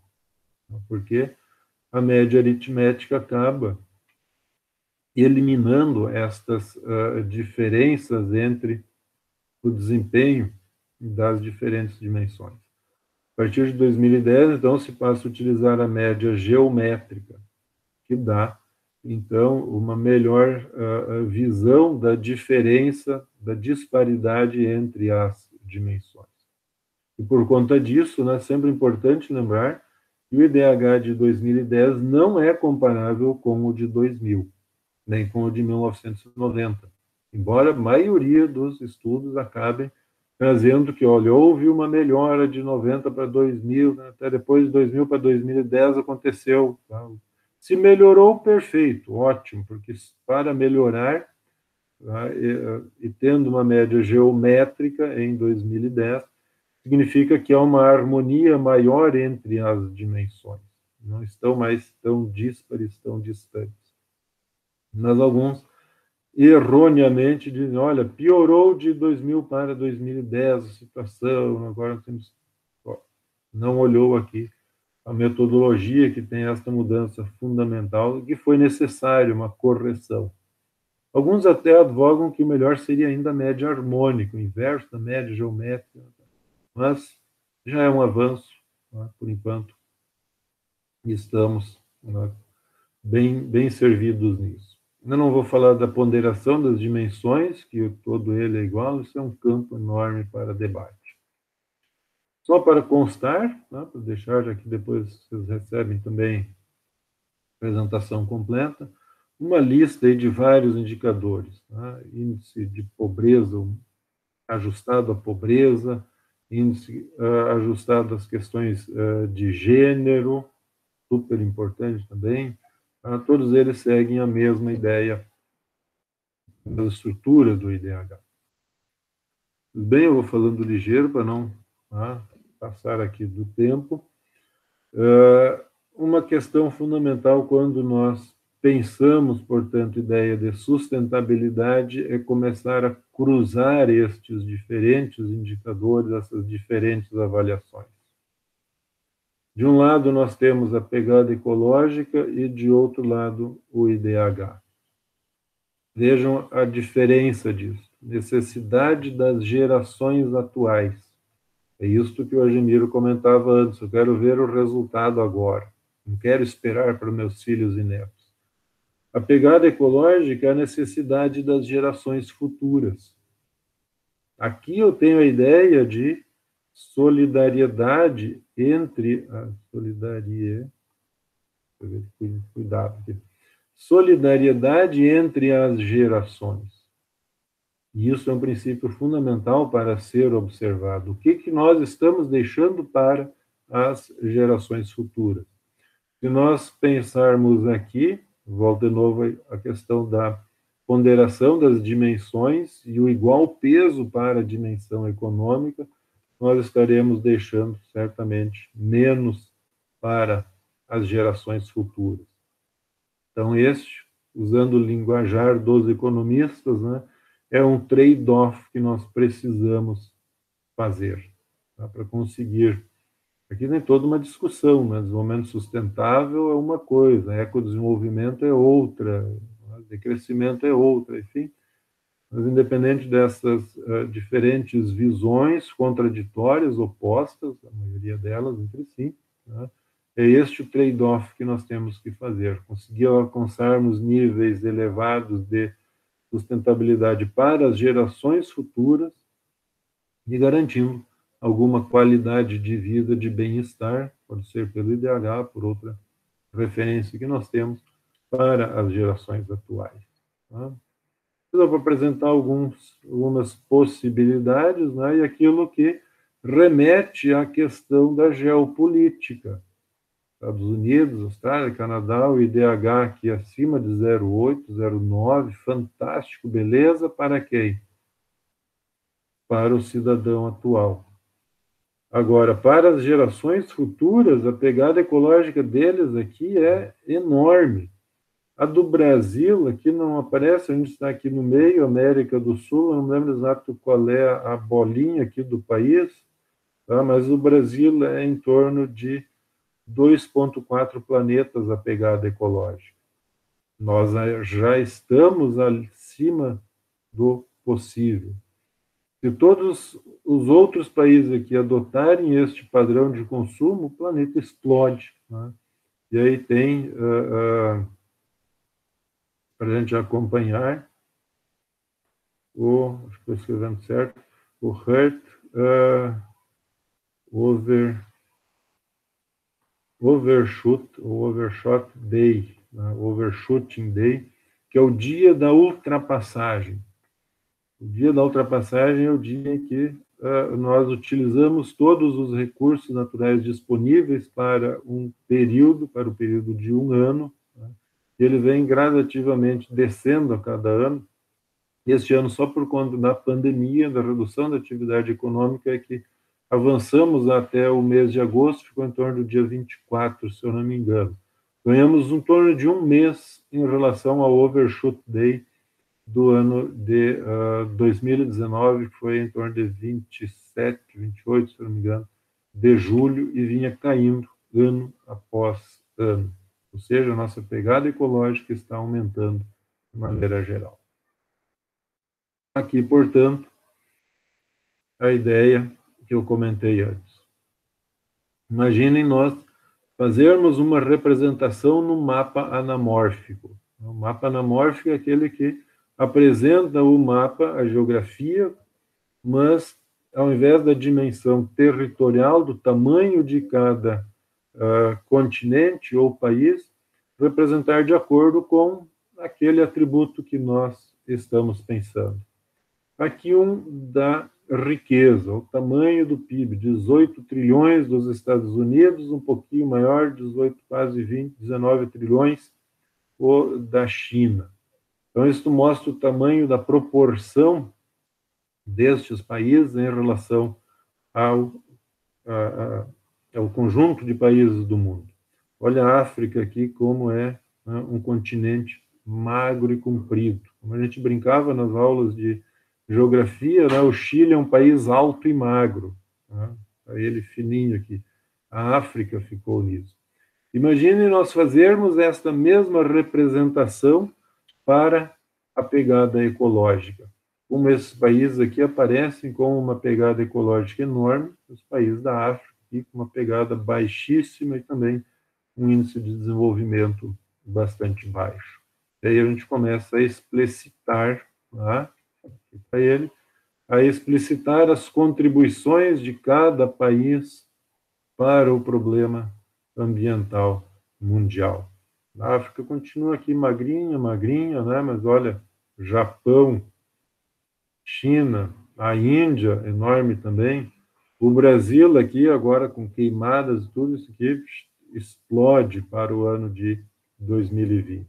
Tá? Então, quando nós entendemos isso, esta representação, a gente vê a dificuldade de avançar na discussão da sustentabilidade das regiões dentro deste padrão de desenvolvimento, como foi muito bem comentado pelo Argemiro implica em mudar isso, implica em mudar este status quo.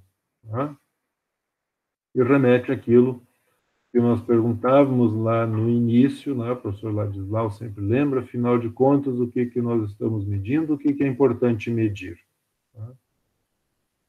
Para os neoclássicos, a utilidade marginal do dinheiro é constante. Um real a mais vale tanto quanto o último real anterior que foi uh, recebido. Será que isso é verdade mesmo? Será que isto vale para uma série de produtos e o que, que de fato traz tá, para nós acréscimos de felicidade? Já que é sexta-feira, eu deixo aqui a pergunta: né? qual é a utilidade marginal de mais um copo de cerveja, ou de vinho, ou de mais uma cuia de chimarrão?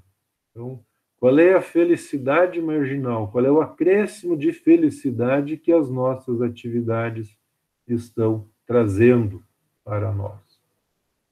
Na mesma esteira de antes, as pessoas devem ser produtivas ou felizes? O que vem na frente? A economia ou o bem-estar? Apenas para a gente responder, para refletirmos um pouco. E correndo, já são seis e meia aqui, eu tenho um monte de slides com alguns desenhos, com alguns quadrinhos para trazer um pouco mais de ideias diferentes para nós. Vejam um estudo aqui, já mais antigo, termina aqui no começo dos anos 2000, apesar do rendimento crescer exponencialmente a partir de meados dos anos 60, os baby boomers, né, como foi bem comentado antes, a geração pós-Segunda Guerra Mundial enriquece, mas a felicidade ó, continua aqui periclitante na faixa de 30 e poucos por cento, apesar do elevado acréscimo de renda, né? Ver sai aqui da faixa de 9 mil, vai lá para 20 e tantos mil, mais do que dobra. Mas a felicidade não acompanha. Só para lembrar, um outro indicador que eu gosto muito, tá? o Index of Social Economical Welfare, tá? índice de bem-estar econômico e social, que vai trazer uma série outra de ponderações para avaliarmos melhor e não apenas o PIB. Tá? Inclui os custos da degradação ambiental, o desgaste, a perda do capital natural, gastos defensivos de maneira geral, tá? acresce o trabalho doméstico, e nós vamos, para alguns exemplos, encontrar resultados desta natureza. Veja, enquanto o PIB cresce, quando nós ajustamos o PIB por uma série de contas, a gente vê que a distância entre eles é cada vez maior. Então, bem-estar não tem a ver com crescimento da produção material. Vale para o Chile, vale para a Itália. Vejam como metade dos anos 60, indo para o final dos, da década de 60, este descolamento entre os índices vai crescendo cada vez mais. Né? Para a Suécia até retarda um pouco mais. Vejam que a trajetória é muito semelhante, até nas curvas aqui, todas, até o início dos anos 80 e depois esse descolamento ele é crescente. Então, tem algum problema sim nesta visão pura e exclusivamente do produto interno e da, da produção pura e simples. Só para lembrar rápido aqui, o Índice de Felicidade Nacional Bruta do Butão, uma série outra de visões, são nove dimensões, aqui eu tenho a ponderação delas todas, todo o material disponível lá no site do, do índice, tá? aqui, só procurar na internet, Centro de Estudos do Butão e a pesquisa do Índice da Felicidade Interna Bruta deles. Tá? Aqui rápido de novo, uma outra, para chegar lá nas minhas tirinhas. Este índice Brasil aqui, ele foi feito pelo pessoal da Unicamp, agora os professores já não estão mais, aposentados, e o último uh, aqui é o ano 2004, se eu não me engano, mas ele tem uma representação interessante e resgata um pouco a ideia do Amartya Sen. Ele não traz um indicador, ele não está entre 0 e 1. Um embora em cada uma das dimensões nós enxerguemos o que? A partir do centro, zero, quanto nos falta para chegar no um, na borda, que é o ideal. Então, então, nesta ideia aqui, ele trabalha com o zero e um também, a ideia da distância, o quanto falta para nós chegarmos até o ideal, tá? mas ele mantém todas as dimensões em separado não traduz num, num único indicador. Portanto, nós conseguimos enxergar melhor onde nós estamos, onde nós chegamos, o quanto nós crescemos ou não crescemos aqui de um ano para outro, né? 2004, 2005, uma variação minúscula, né? o quanto, quanto ainda falta para nós alcançarmos a borda do radar, fugirmos aqui do, do centro dele índice DNA Brasil, né, que foi descontinuado, infelizmente não localizei mais nenhuma produção mais atual deles, os professores já se aposentaram. Não? E aqui, a partir de toda esta discussão, uma primeira, primeira versão ainda que nós não avançamos. Estamos pensando, a partir destas ideias, de trazer um indicador para a própria região e que a própria região construa este indicador e seja depois responsável pelo seu monitoramento e acompanhamento. Então, é, é, é a região que tem que dizer o que, que ela entende por sustentabilidade, o que, que ela entende por questões importantes de serem acompanhadas. Não é, mas a gente pode até buscar, como é a primeira versão ainda, né, uh, nós podemos buscar algumas ideias lá nos Objetivos de Desenvolvimento Sustentável, nos 17 ODS da ONU. Então, como referência para nós. Um indicador como o IDH, ele nos permite dizer o quanto nós estamos próximo ou longe em relação a outras regiões. mas o indicador não serve apenas para nos comparar com os outros, nós precisamos nos comparar com nós mesmos. Portanto, nós, a região, e aqui a nossa ideia metodológica é apresentarmos isto para o CORED do Vale do Rio Pardo, para levar a discussão e a comunidade regional dizer, olha, o que nós entendemos como importante para ser acompanhado é na educação, a, parte do alfabetismo, analfabetismo, enfim, a, cobertura de crianças em creche, fora de creche, não sei, nós temos que levar isto para a, a discussão. O que, que nós vamos acompanhar em meio ambiente, em segurança, enfim, para aí sim estabelecermos na linha dos ODS, estabelecermos as nossas metas ou o que nós gostaríamos de ser. Então, aqui é a nossa ideia, o nosso trabalho agora para uma renovação da Bolsa PIBIC para este semestre e o próximo início lá de 2021. E aqui, o que eu já tinha pensado antes, eu utilizo muito em salas de aula e fica o registro para o Quino, que nos deixou há poucos dias. Tá? A Mafalda sempre super, super lúcida com as suas perguntas. Né?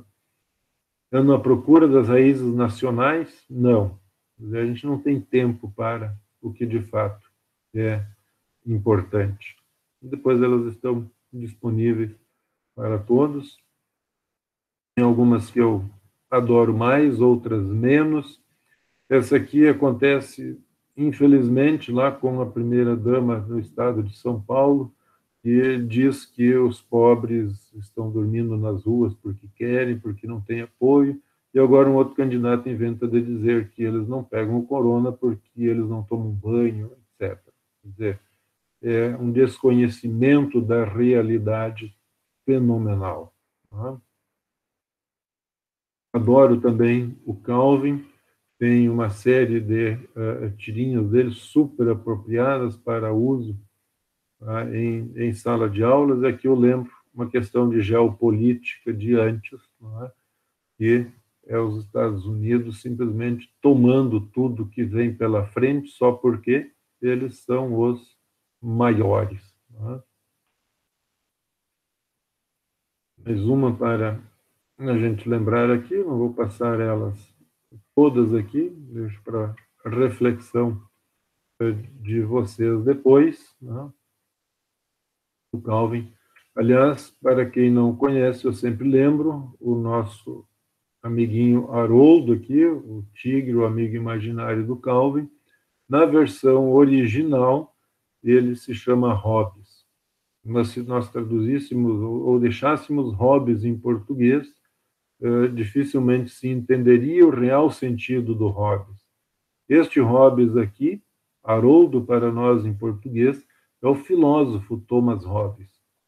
Então, para quem estuda um pouco de filosofia, lembra dos ensinamentos dele, a discussão sobre uh, o ser humano no estado de natureza, se ele é bom ou mal, vai entender rapidamente quais são as reflexões que ele remete aqui para um menino super egoísta, que é o Calvin.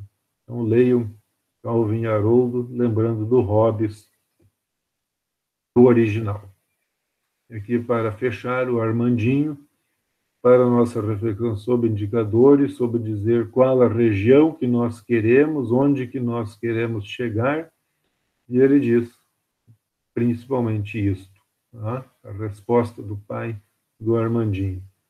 Utopia é algo que nós nunca vamos alcançar. É a linha do horizonte, que sempre foge, mas é ela que nos move, é ela que nos faz caminhar, é ela que traz os objetivos a que nós queremos chegar.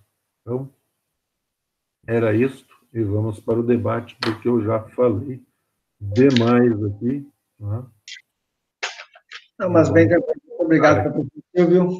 Perfeito, é, é, também é sempre um prazer reencontrá-lo e mesmo à distância, não é?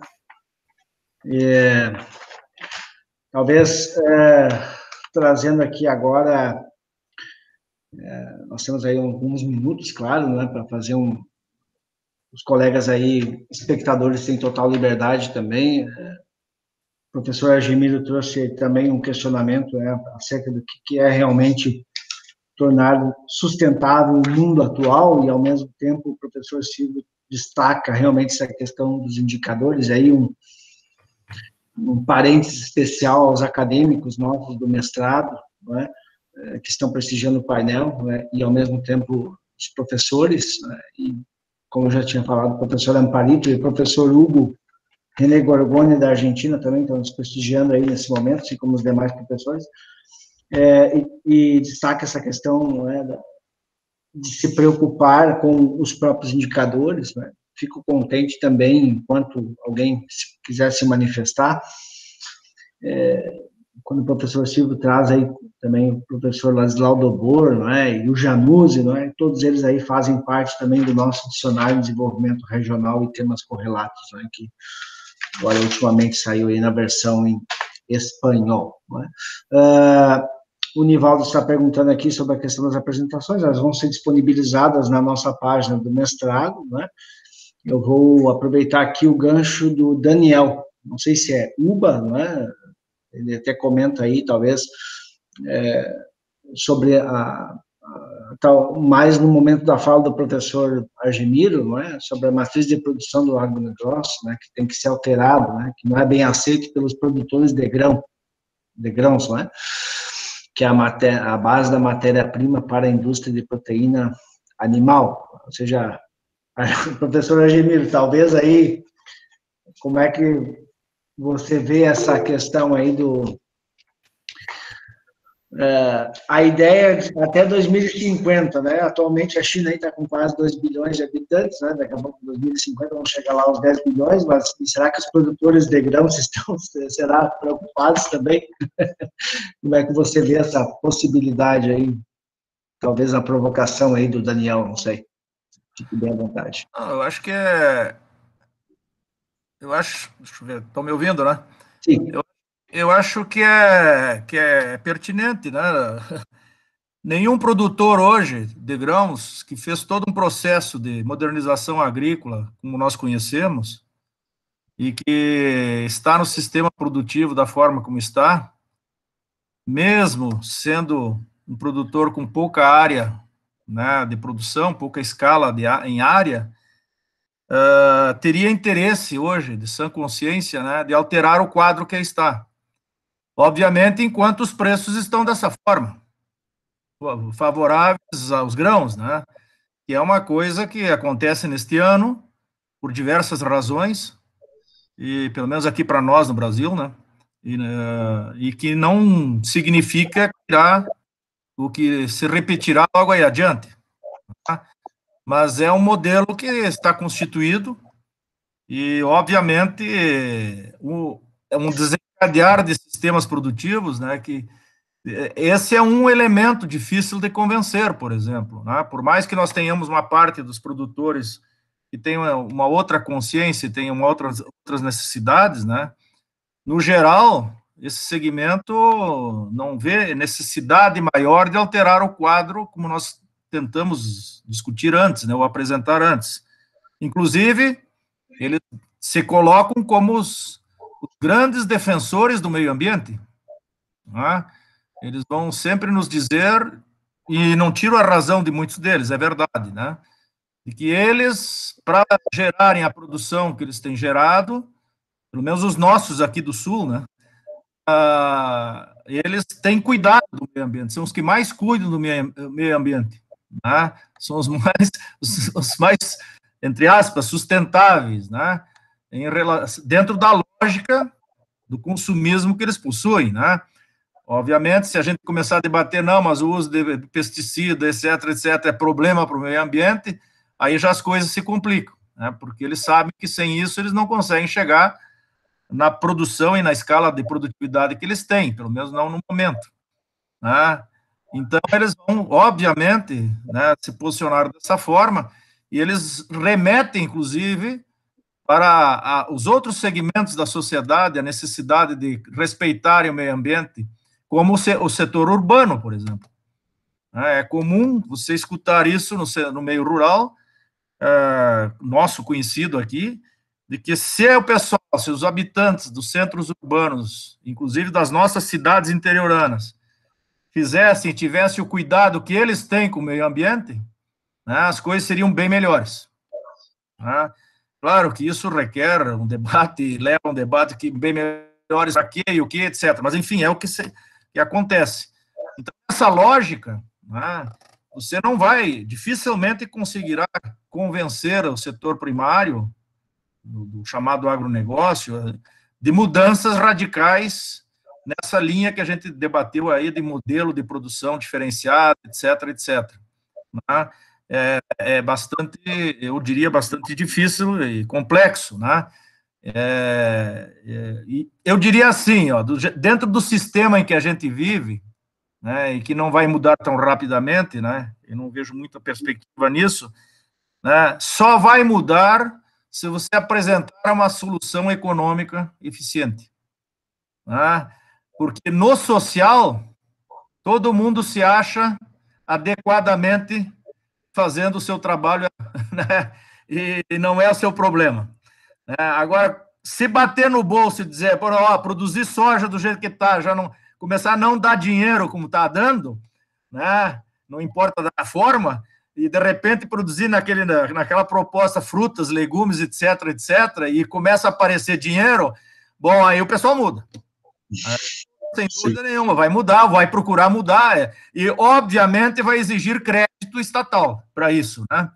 Porque do bolso eles não vão ter dinheiro para tirar. Né? Infelizmente, o setor primário nosso né, gerou, e não é só nosso, mas gerou todo esse processo de modernização que está aí, financiado pelo Estado, né? grande parte é pelo Estado. Se nós hoje tirássemos, eu sempre digo isso, se nós, se porventura, viesse uma decisão de cima para baixo, estatal, dizendo que, bom, não tem mais crédito para quem deve, no meio rural, para os bancos e para o sistema, ninguém produz mais, porque todo mundo deve. Né? e vai rolando a dívida, né? E vai empurrando. E claro, a sociedade paga essa conta de uma, de, uma forma ou de outra. Né? Bom, então nós temos um sistema também vicioso aí, de uma certa maneira. E quando as coisas se complicam, você ganha perdão de dívida, você prorroga a dívida sine die, né? e você vai indo. Coisas que o centro, o centro urbano, a geração de produção no, no meio urbano não tem, ou pelo menos não recebe na mesma condição. Né? Então, esse debate é, é, é, significativo aí dentro, né? E, e, aí, como fazer desenvolvimento, como fazer sustentabilidade, sobretudo, dentro de uma lógica dessas, né? É, é uma questão que, de fato, para mim também me incomoda, né? É, porque, de um lado, eu procuro entender o posicionamento desse pessoal, porque, como pesquisador e tudo mais, não radicalizar, mas, por outro lado, eu vejo que não, a coisa está indo por um ponto que ou você gera alguma solução, algum modelo eh, alternativo, como a gente tentou mostrar aí algumas proposições, né? Uh, ou a coisa vai terminar explodindo, como aliás o Silvio usou esse, esse termo em determinado momento da sua fala. Uh, mas isso ainda não é uma preocupação. Uh, né? Desculpa, vou parar aí, né? Eu, ve, eu vejo que o Carlos Paiva está louco para falar também, né? É, é, é, mas eu diria assim, né? Não é uma preocupação geral, né? A, a, a, impressão que dá é que esse debate que nós estamos fazendo aqui né, ainda é uma questão de acadêmico, olhando a sociedade fora de nós aqui. Esses caras, esses pensadores, esses acadêmicos, essa turma aí, é, estão longe da nossa realidade, não, não adianta. É, esse, esse troço não se, não se como é que eu vou dizer, não se consolida na prática. Né? Embora a gente saiba das dificuldades, mas de fato, né, um dia ou outro, por necessidade, nós vamos ter que dar um jeito, né? Pelo que está se vendo aí, né? Tem uhum. uma certa altura lá. Paro aí, então. Mas, perfeito. Uh, antes de passar a palavra ao professor Carlos Paiva, vou deixar aqui, agradeço aí ao Daniel, né, muito obrigado pela sua provocação aí, o prestígio da audiência aqui também conosco. Uh, agora vou fazer uma pergunta, uh, enquanto o professor Paiva se prepara para fazer aí a sua iniciação. Uma vez escreveram num livro aí dizendo que negaria três vezes, por exemplo, da sua existência, mas nós estamos percebendo que, é, no caso do meio ambiente, por exemplo, aí, né, professor Silvio, o senhor trouxe aí é, também outros itens que nos levam a pensar a respeito da negação que existe sobre o cuidado para com o meio ambiente e quando muitas vezes se observa que se uh, transfere a, a responsabilidade do ente federado, né, federativo, né, dizendo, do governo, né, para os estados, ou seja, não, os estados é que são responsáveis aí, por exemplo, pelas queimadas, né, ou seja, por não por não é, terem o controle. E com essa questão também, não é, de dar um papel especial para os bovinos, né, ou seja, que eles são, então, os, os bombeiros, né, nessa questão aí do, dos indícios do, do, incêndio, por exemplo, é. Então, é, o que, não, não precisa ser agora, talvez assim, venha o professor Paiva na sequência, mas o que, que fica, não é, uh, para o futuro, não é? O futuro, vamos dizer assim, no, no curto prazo, também casando com essa visão uh, dos postulantes a prefeitos ao mesmo tempo e né, candidato, aquela pessoa alva, né, ou seja, que está vestido de branco, como deveria ser, ou seja, puro, não é? Mas puro do que, né? Puro da inocência, puro da ignorância, né? Ou por não ter um conhecimento também ou ter uma, uma visão muito míope, né, tipo de cavalo de padeiro, que só olha em uma única direção, que não vê o que está acontecendo na volta, né? o que, que, será que fica para, para o que vem aí em termos de cuidado para com o meio ambiente, respeitando aí essa questão da sua uh, proposição, né, de que realmente a região é, tem que ser protagonista para uh, observar melhor a, o modus vivendi em termos de considerar os indicadores como sendo essenciais para uma radiografia da região né, em si. Não sei se eu me fiz entender, mas professor Paiva, depois, quem sabe, aí fizemos essa rodada. Não sei, pode ser? Professor Paiva? Eu só queria comentar uma, um, um, ponto da fala do Argemiro que eu acho que é do maior interesse. Assim. É, nós estamos no Rio Grande do Sul ainda num processo de sojificação, né, Admiro? Está crescendo as áreas de soja, mas, assim, é, do meu ponto de vista, isso tem sim a ver com a ausência de orientação governamental e das cooperativas que entraram em crise, né? No oeste paranaense, no oeste catarinense, houve uma conversão, ou seja, o pessoal entendeu que pequeno proprietário produzir soja em 30 hectares, 20 hectares, por mais que seja enfim, é, só trabalha três meses, é, pode arrendar terra e coisa e tal, mas não é uma rentabilidade sustentável que você mantenha a família lá. E se converteram para a produção uh, de proteína animal, uh, apoiado pela LAR, pela Copavel, pela, pela Cevale, uh, por todas as cooperativas, que, e pelas, também pelas integradoras tipo Sadia e, e agora BRF, né? Mas, de qualquer maneira, houve uma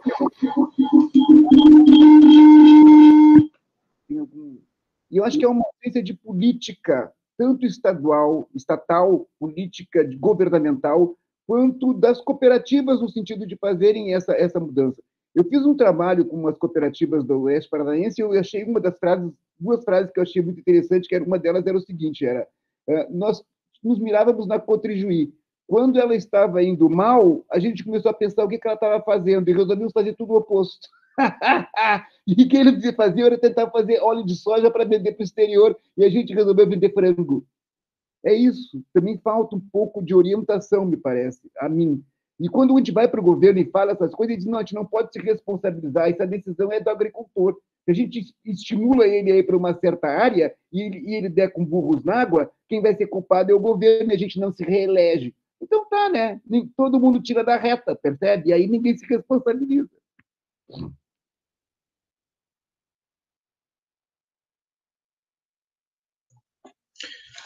Muito bem, obrigado, professor Paiva. Considerações? Uh, sei se o professor Silvio quer queres comentar um pouco da minha provocação ali, nós podemos encaminhar na sequência, até em razão do horário dos demais colegas, mas...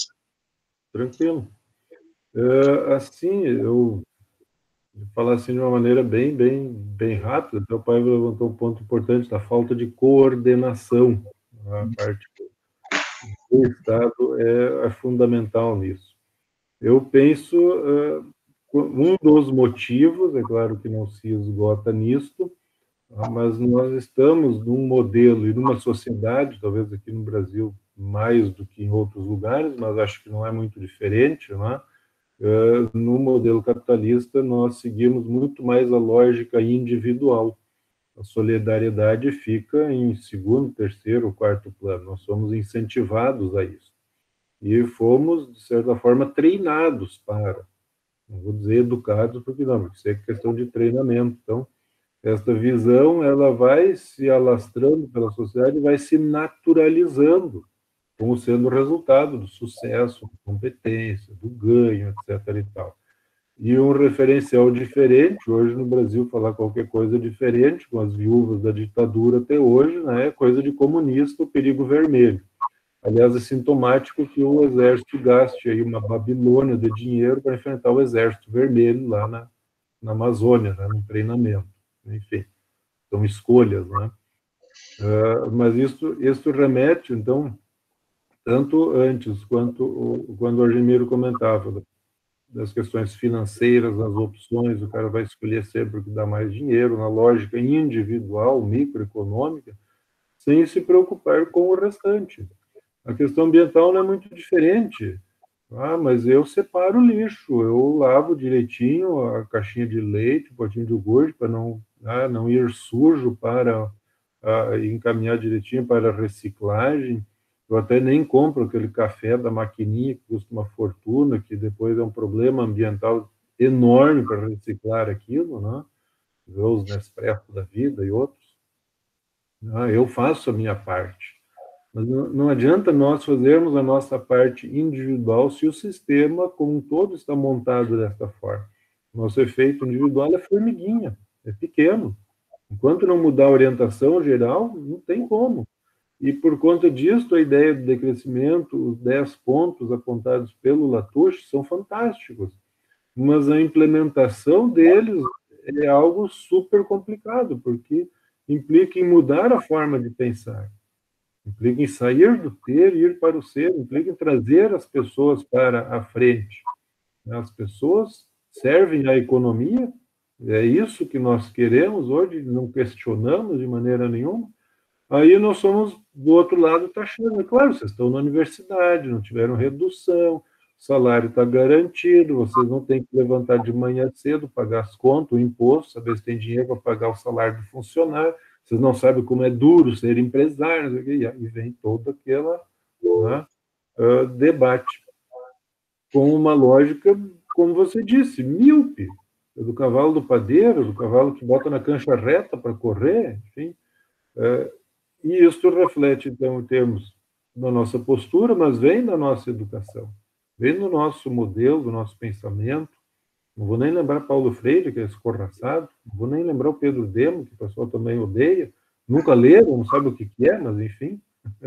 né? uh, e vem da nossa formação enquanto economistas. Enquanto administradores, nós viemos nessa lógica cartesiana, funcionalista, direto, e não conseguimos nos livrar disso. E todos os que pregam algo diferente estão taxados aí nas visões mais, assim, amenas de comunista, para dizer o mínimo. Então, romper essa lógica é extremamente difícil, mas é o debate que a gente tem que fazer. Né? E, e para lembrar assim dos exemplos aqui de Santa Cruz, a soja tem hoje, acho que se bobear, deixa um planto até dentro do cemitério, tá? entre os túmulos e vão passando, se bobear, tira o túmulo e planta por cima também. Uh, vai tomando conta de tudo. Normalmente, pela, nossa experiência, quando conversamos com agricultores para tentar trazer uma proposta diferente, ela vai plantar legumes, vai plantar pepino, não, já tem pepinos demais na minha vida, não vamos preocupar com esses aí de botar no vidrinho. né? É, Para a gente conseguir convencer o agricultor a mudar alguma coisa, é só quando a água está né, tá batendo já acima do pescoço, já está no nariz. Quando ele realmente não tem mais alternativa nenhuma, quando ele está falido. Aí ele aceita, Não porque ele acredita, mas é porque, bom, talvez ele vai ter apoio da universidade, vai ter alguma graninha que vai vir de algum fundo do Estado, da Secretaria, de não sei o que e tal, e ele vai conseguir se manter por um tempo. Ele aceita por, por esta pressão. Então, enquanto mantivermos esta lógica, vai ser difícil né, conseguir alguma mudança. A questão é trabalhar para romper isso apesar de sermos taxados aí de malucos, descompromissados, comunistas e etc. e tal. Né? Para conseguir romper essa lógica, de fato, é o, é o mais difícil. É. Perfeito. É, talvez eu entenda também que nós somos aqui Dom Quixote do desenvolvimento, né? quixotescamente falando. Né? Não sei, o, o colega Daniel queria fazer uma fala, isso, não sei se temos um... Tudo bem, Daniel? Fique à vontade aí para nós encaminharmos, fique à vontade. Ok, boa tarde a todos. Eu sou Daniel Uba, engenheiro agrônomo, trabalho pela, pela, pela EPAGRE aqui em Santa Catarina com extensão rural. Sou mestre em extensão rural pela Federal de Santa Maria. Mas, assim, é, é, dentro daquela provocação que eu fiz, e, e eu acho que, e, seguindo aquela, aquela, aquela historinha, né, que eu acho que pega muito bem a questão da utopia, né? Eu queria trazer aqui as oportunidades que ultimamente a gente tem vivido nesse aspecto, não, não, de, não de contrapor a, a, o, o, agro, o agronegócio numa visão da agricultura familiar, né? Mas eu quero trazer dois momentos aonde a gente percebeu a oportunidade de a gente fortalecer é, é, é, essa visão que a gente está discutindo hoje aqui, que é, parabéns pelas, pelas colocações, são muito, muito pertinentes. Primeiro foi a greve daquele, do, lá dos, do, dos caminhoneiros há um tempo, né? e agora a Covid. É, nós tivemos a oportunidade de perceber o quanto um mercado como cadeia curta se torna é, extremamente estratégica e importante é, nesses dois momentos, né? É, a, a, compra e o fornecimento de alimentos dentro do próprio município e valorizando muitas vezes é, é, aquele, aquela produção invisível, né, que ela é, é ela é estrangulada pela, pela, pela vinda de caminhões que vêm do lado do mercado, do SEASA, e que estrangula a produção local.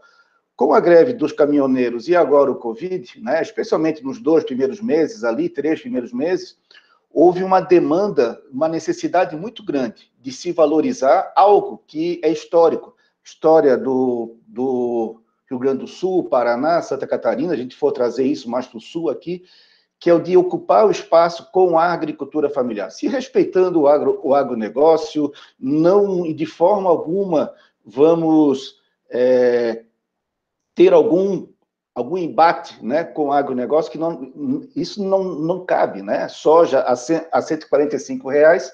Eu realmente eu tenho um lote aqui na minha frente de casa de 12 metros quadrados, que se eu pudesse plantar soja aqui, eu iria, iria produzir. Então, eu trago essa, essa, essa provocação, porque a gente tem que estar atento às oportunidades para que a gente fortaleça cada vez mais é, eu, eu vou talvez é, vou sintetizar isso que são nas, é, nas, nas redes curtas, né? É, de, de comercialização de produção.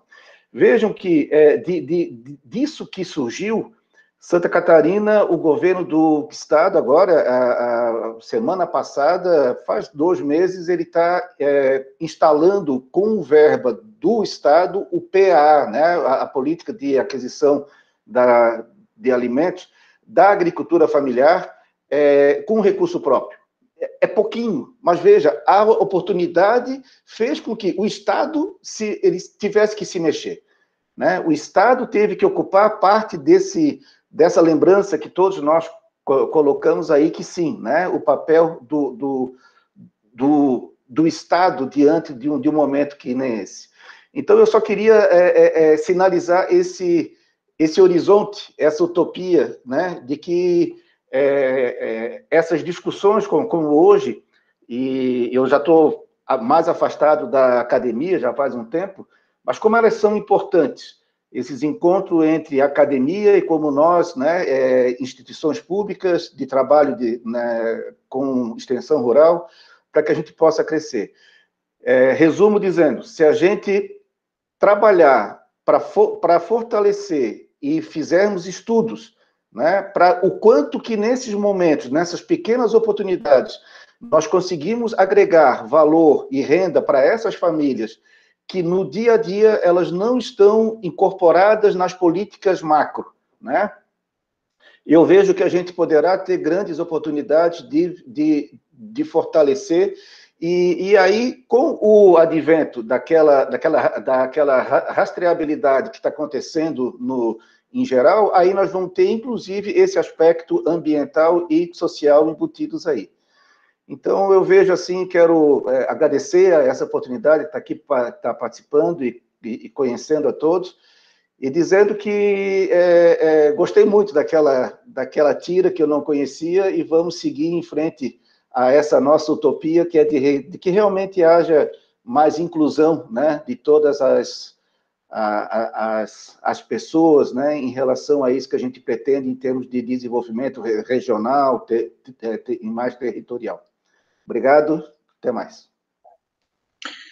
Muito obrigado, Daniel. É, Para nós aqui do mestrado também é uma satisfação ver que os colegas aí também do estado vizinho estão nos prestigiando e é, professor Argemiro, professor Silvio, alguma outra consideração final aí? Tudo certo? Tudo tranquilo? Fiquem bem à vontade. Estamos aí agora no encaminhamento, não é? é eu agradeço, né, estamos encaminhados aqui, tudo certo, não é? É, eu agradeço aí mais uma vez a, a presença de todos vocês, em especial o professor Argemir Luiz Brum, professor Silvio César Arendt. É, vou aproveitar o espaço rapidamente aqui, né, é, e convidá-los, né, nós ainda não temos o, o cartão né, de convite, o convite em si, mas para o dia 30 né, de outubro, nós teremos aí, então, uh, mais um painel temático, né? até vou deixar uma palavra especial aí ao professor Paiva, na semana que vem está organizando um outro aí?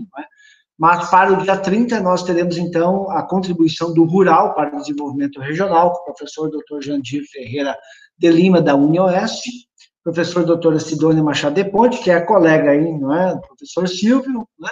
30 do 10 às 17 horas. Aproveito também, nós vamos deixar disponível uh, no site uh, uma contribuição do professor Augusto Pérez Lindo, né, que o professor Hugo René Gorgoni saiu há pouco, né, mas é um colega nosso também aí, sobre biopolíticas, mutações biohistóricas e religação social. E também deixamos aqui uh, o nosso né, dicionário de desenvolvimento regional e temas correlatos e também na versão em espanhol, né, que já está disponível aí no site da editora Conceito, certo? Então, professor Paiva, quer aproveitar aí o ensejo para fazer um convite para a próxima sexta?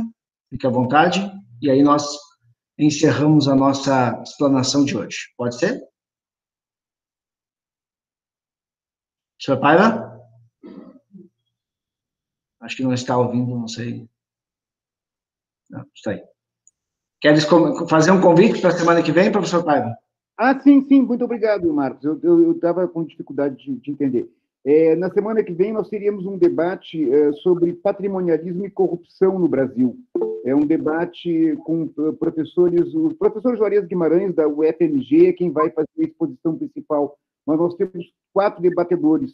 Uh, a Sônia Maluf, que é da Federal da Paraíba e da Federal de Santa Catarina, a Ingrid Schneider, que foi analista do Tribunal Regional Eleitoral e agora está aposentada, mas é doutora em Sociologia, com uma tese sobre a questão do patrimonialismo e do mensalão, e o, desculpa, a Ana Bax, que é professora e pesquisadora, cientista política, doutora da Câmara dos Deputados Federais. Eu também vou fazer um, alguns comentários. Eu acho que vai ser um debate bem interessante, enfim, nós estamos vivendo isso, é o momento brasileiro. Ele faz parte de um grupo de estudos que nós participamos, todos eles, todos nós que vamos apresentar, os Arias e os demais, sobre essa questão de, afinal de contas, o que é essa questão da corrupção no Brasil? Como é que ela está posta? Como é que ela, enfim, qual é a raiz dela? Qual é o fundamento? qual é a dimensão ideológica. Contamos com vocês aí, contamos com a presença de vocês. Muito obrigado, Mário. Bom, dispõe. E também agradecemos e lembramos a todos que estão aqui, certamente depois vão assistir a gravação, né, todas as sextas-feiras até o final de novembro. Uh, no, o Mestrado de Desenvolvimento Regional da FACAT vai promover aí um painel sempre às 5 horas da tarde, semana que vem, dia 30. Uh, eh, dia 5 de novembro nós teremos o professor Glauco Arbix, não é? Dia 6 de novembro teremos o professor Zander Navarro, 13 de novembro teremos uh, professor Rogério Silveira, da Unisc, e a professora Helenisa, da URGS, né? Uh, e no dia 20, a professora Cristiane Toneza, da UNO Chapecó, e o professor Pedro Bittenberger estava aqui agora conosco, até talvez ao Daniel vai interessar, sobre a questão de cadeias curtas e cooperativismo no desenvolvimento regional. E no dia 27 de novembro, UFA, né, finalizamos aí uh, com o professor doutor Paulo Januzzi, que vai trazer um estudo inédito sobre pobreza e desigualdade no Brasil, lá no dia 27 de novembro. Então, sempre às 5 horas da tarde, os colegas aí também depois certamente vão ter o contato aí, os convites, né, nós iremos uh, divulgar na sequência nas nossas redes sociais, e lembrando sempre de que o mestrado está realmente, tal como o professor Silvio e Argemiro comentaram, né, precisamos repensar o que é importante, que é o desenvolvimento regional, qualidade de vida das pessoas. Então, professor Argemiro Luiz Brum, um grande abraço, um fraterno abraço também, professor Silvio César Arendt, né? Não tivemos banca hoje para o senhor avaliar, mas, né? É, vamos arrumar alguma aí, né? Tá bom? Um grande abraço, muito obrigado a todos pela presença e até a próxima edição. Um abraço. Até obrigado, mais. Um abraço a todos. Tchau, tchau todos aí. Tchau, tchau. Muito obrigado. programação. Muito obrigado, da mesma forma.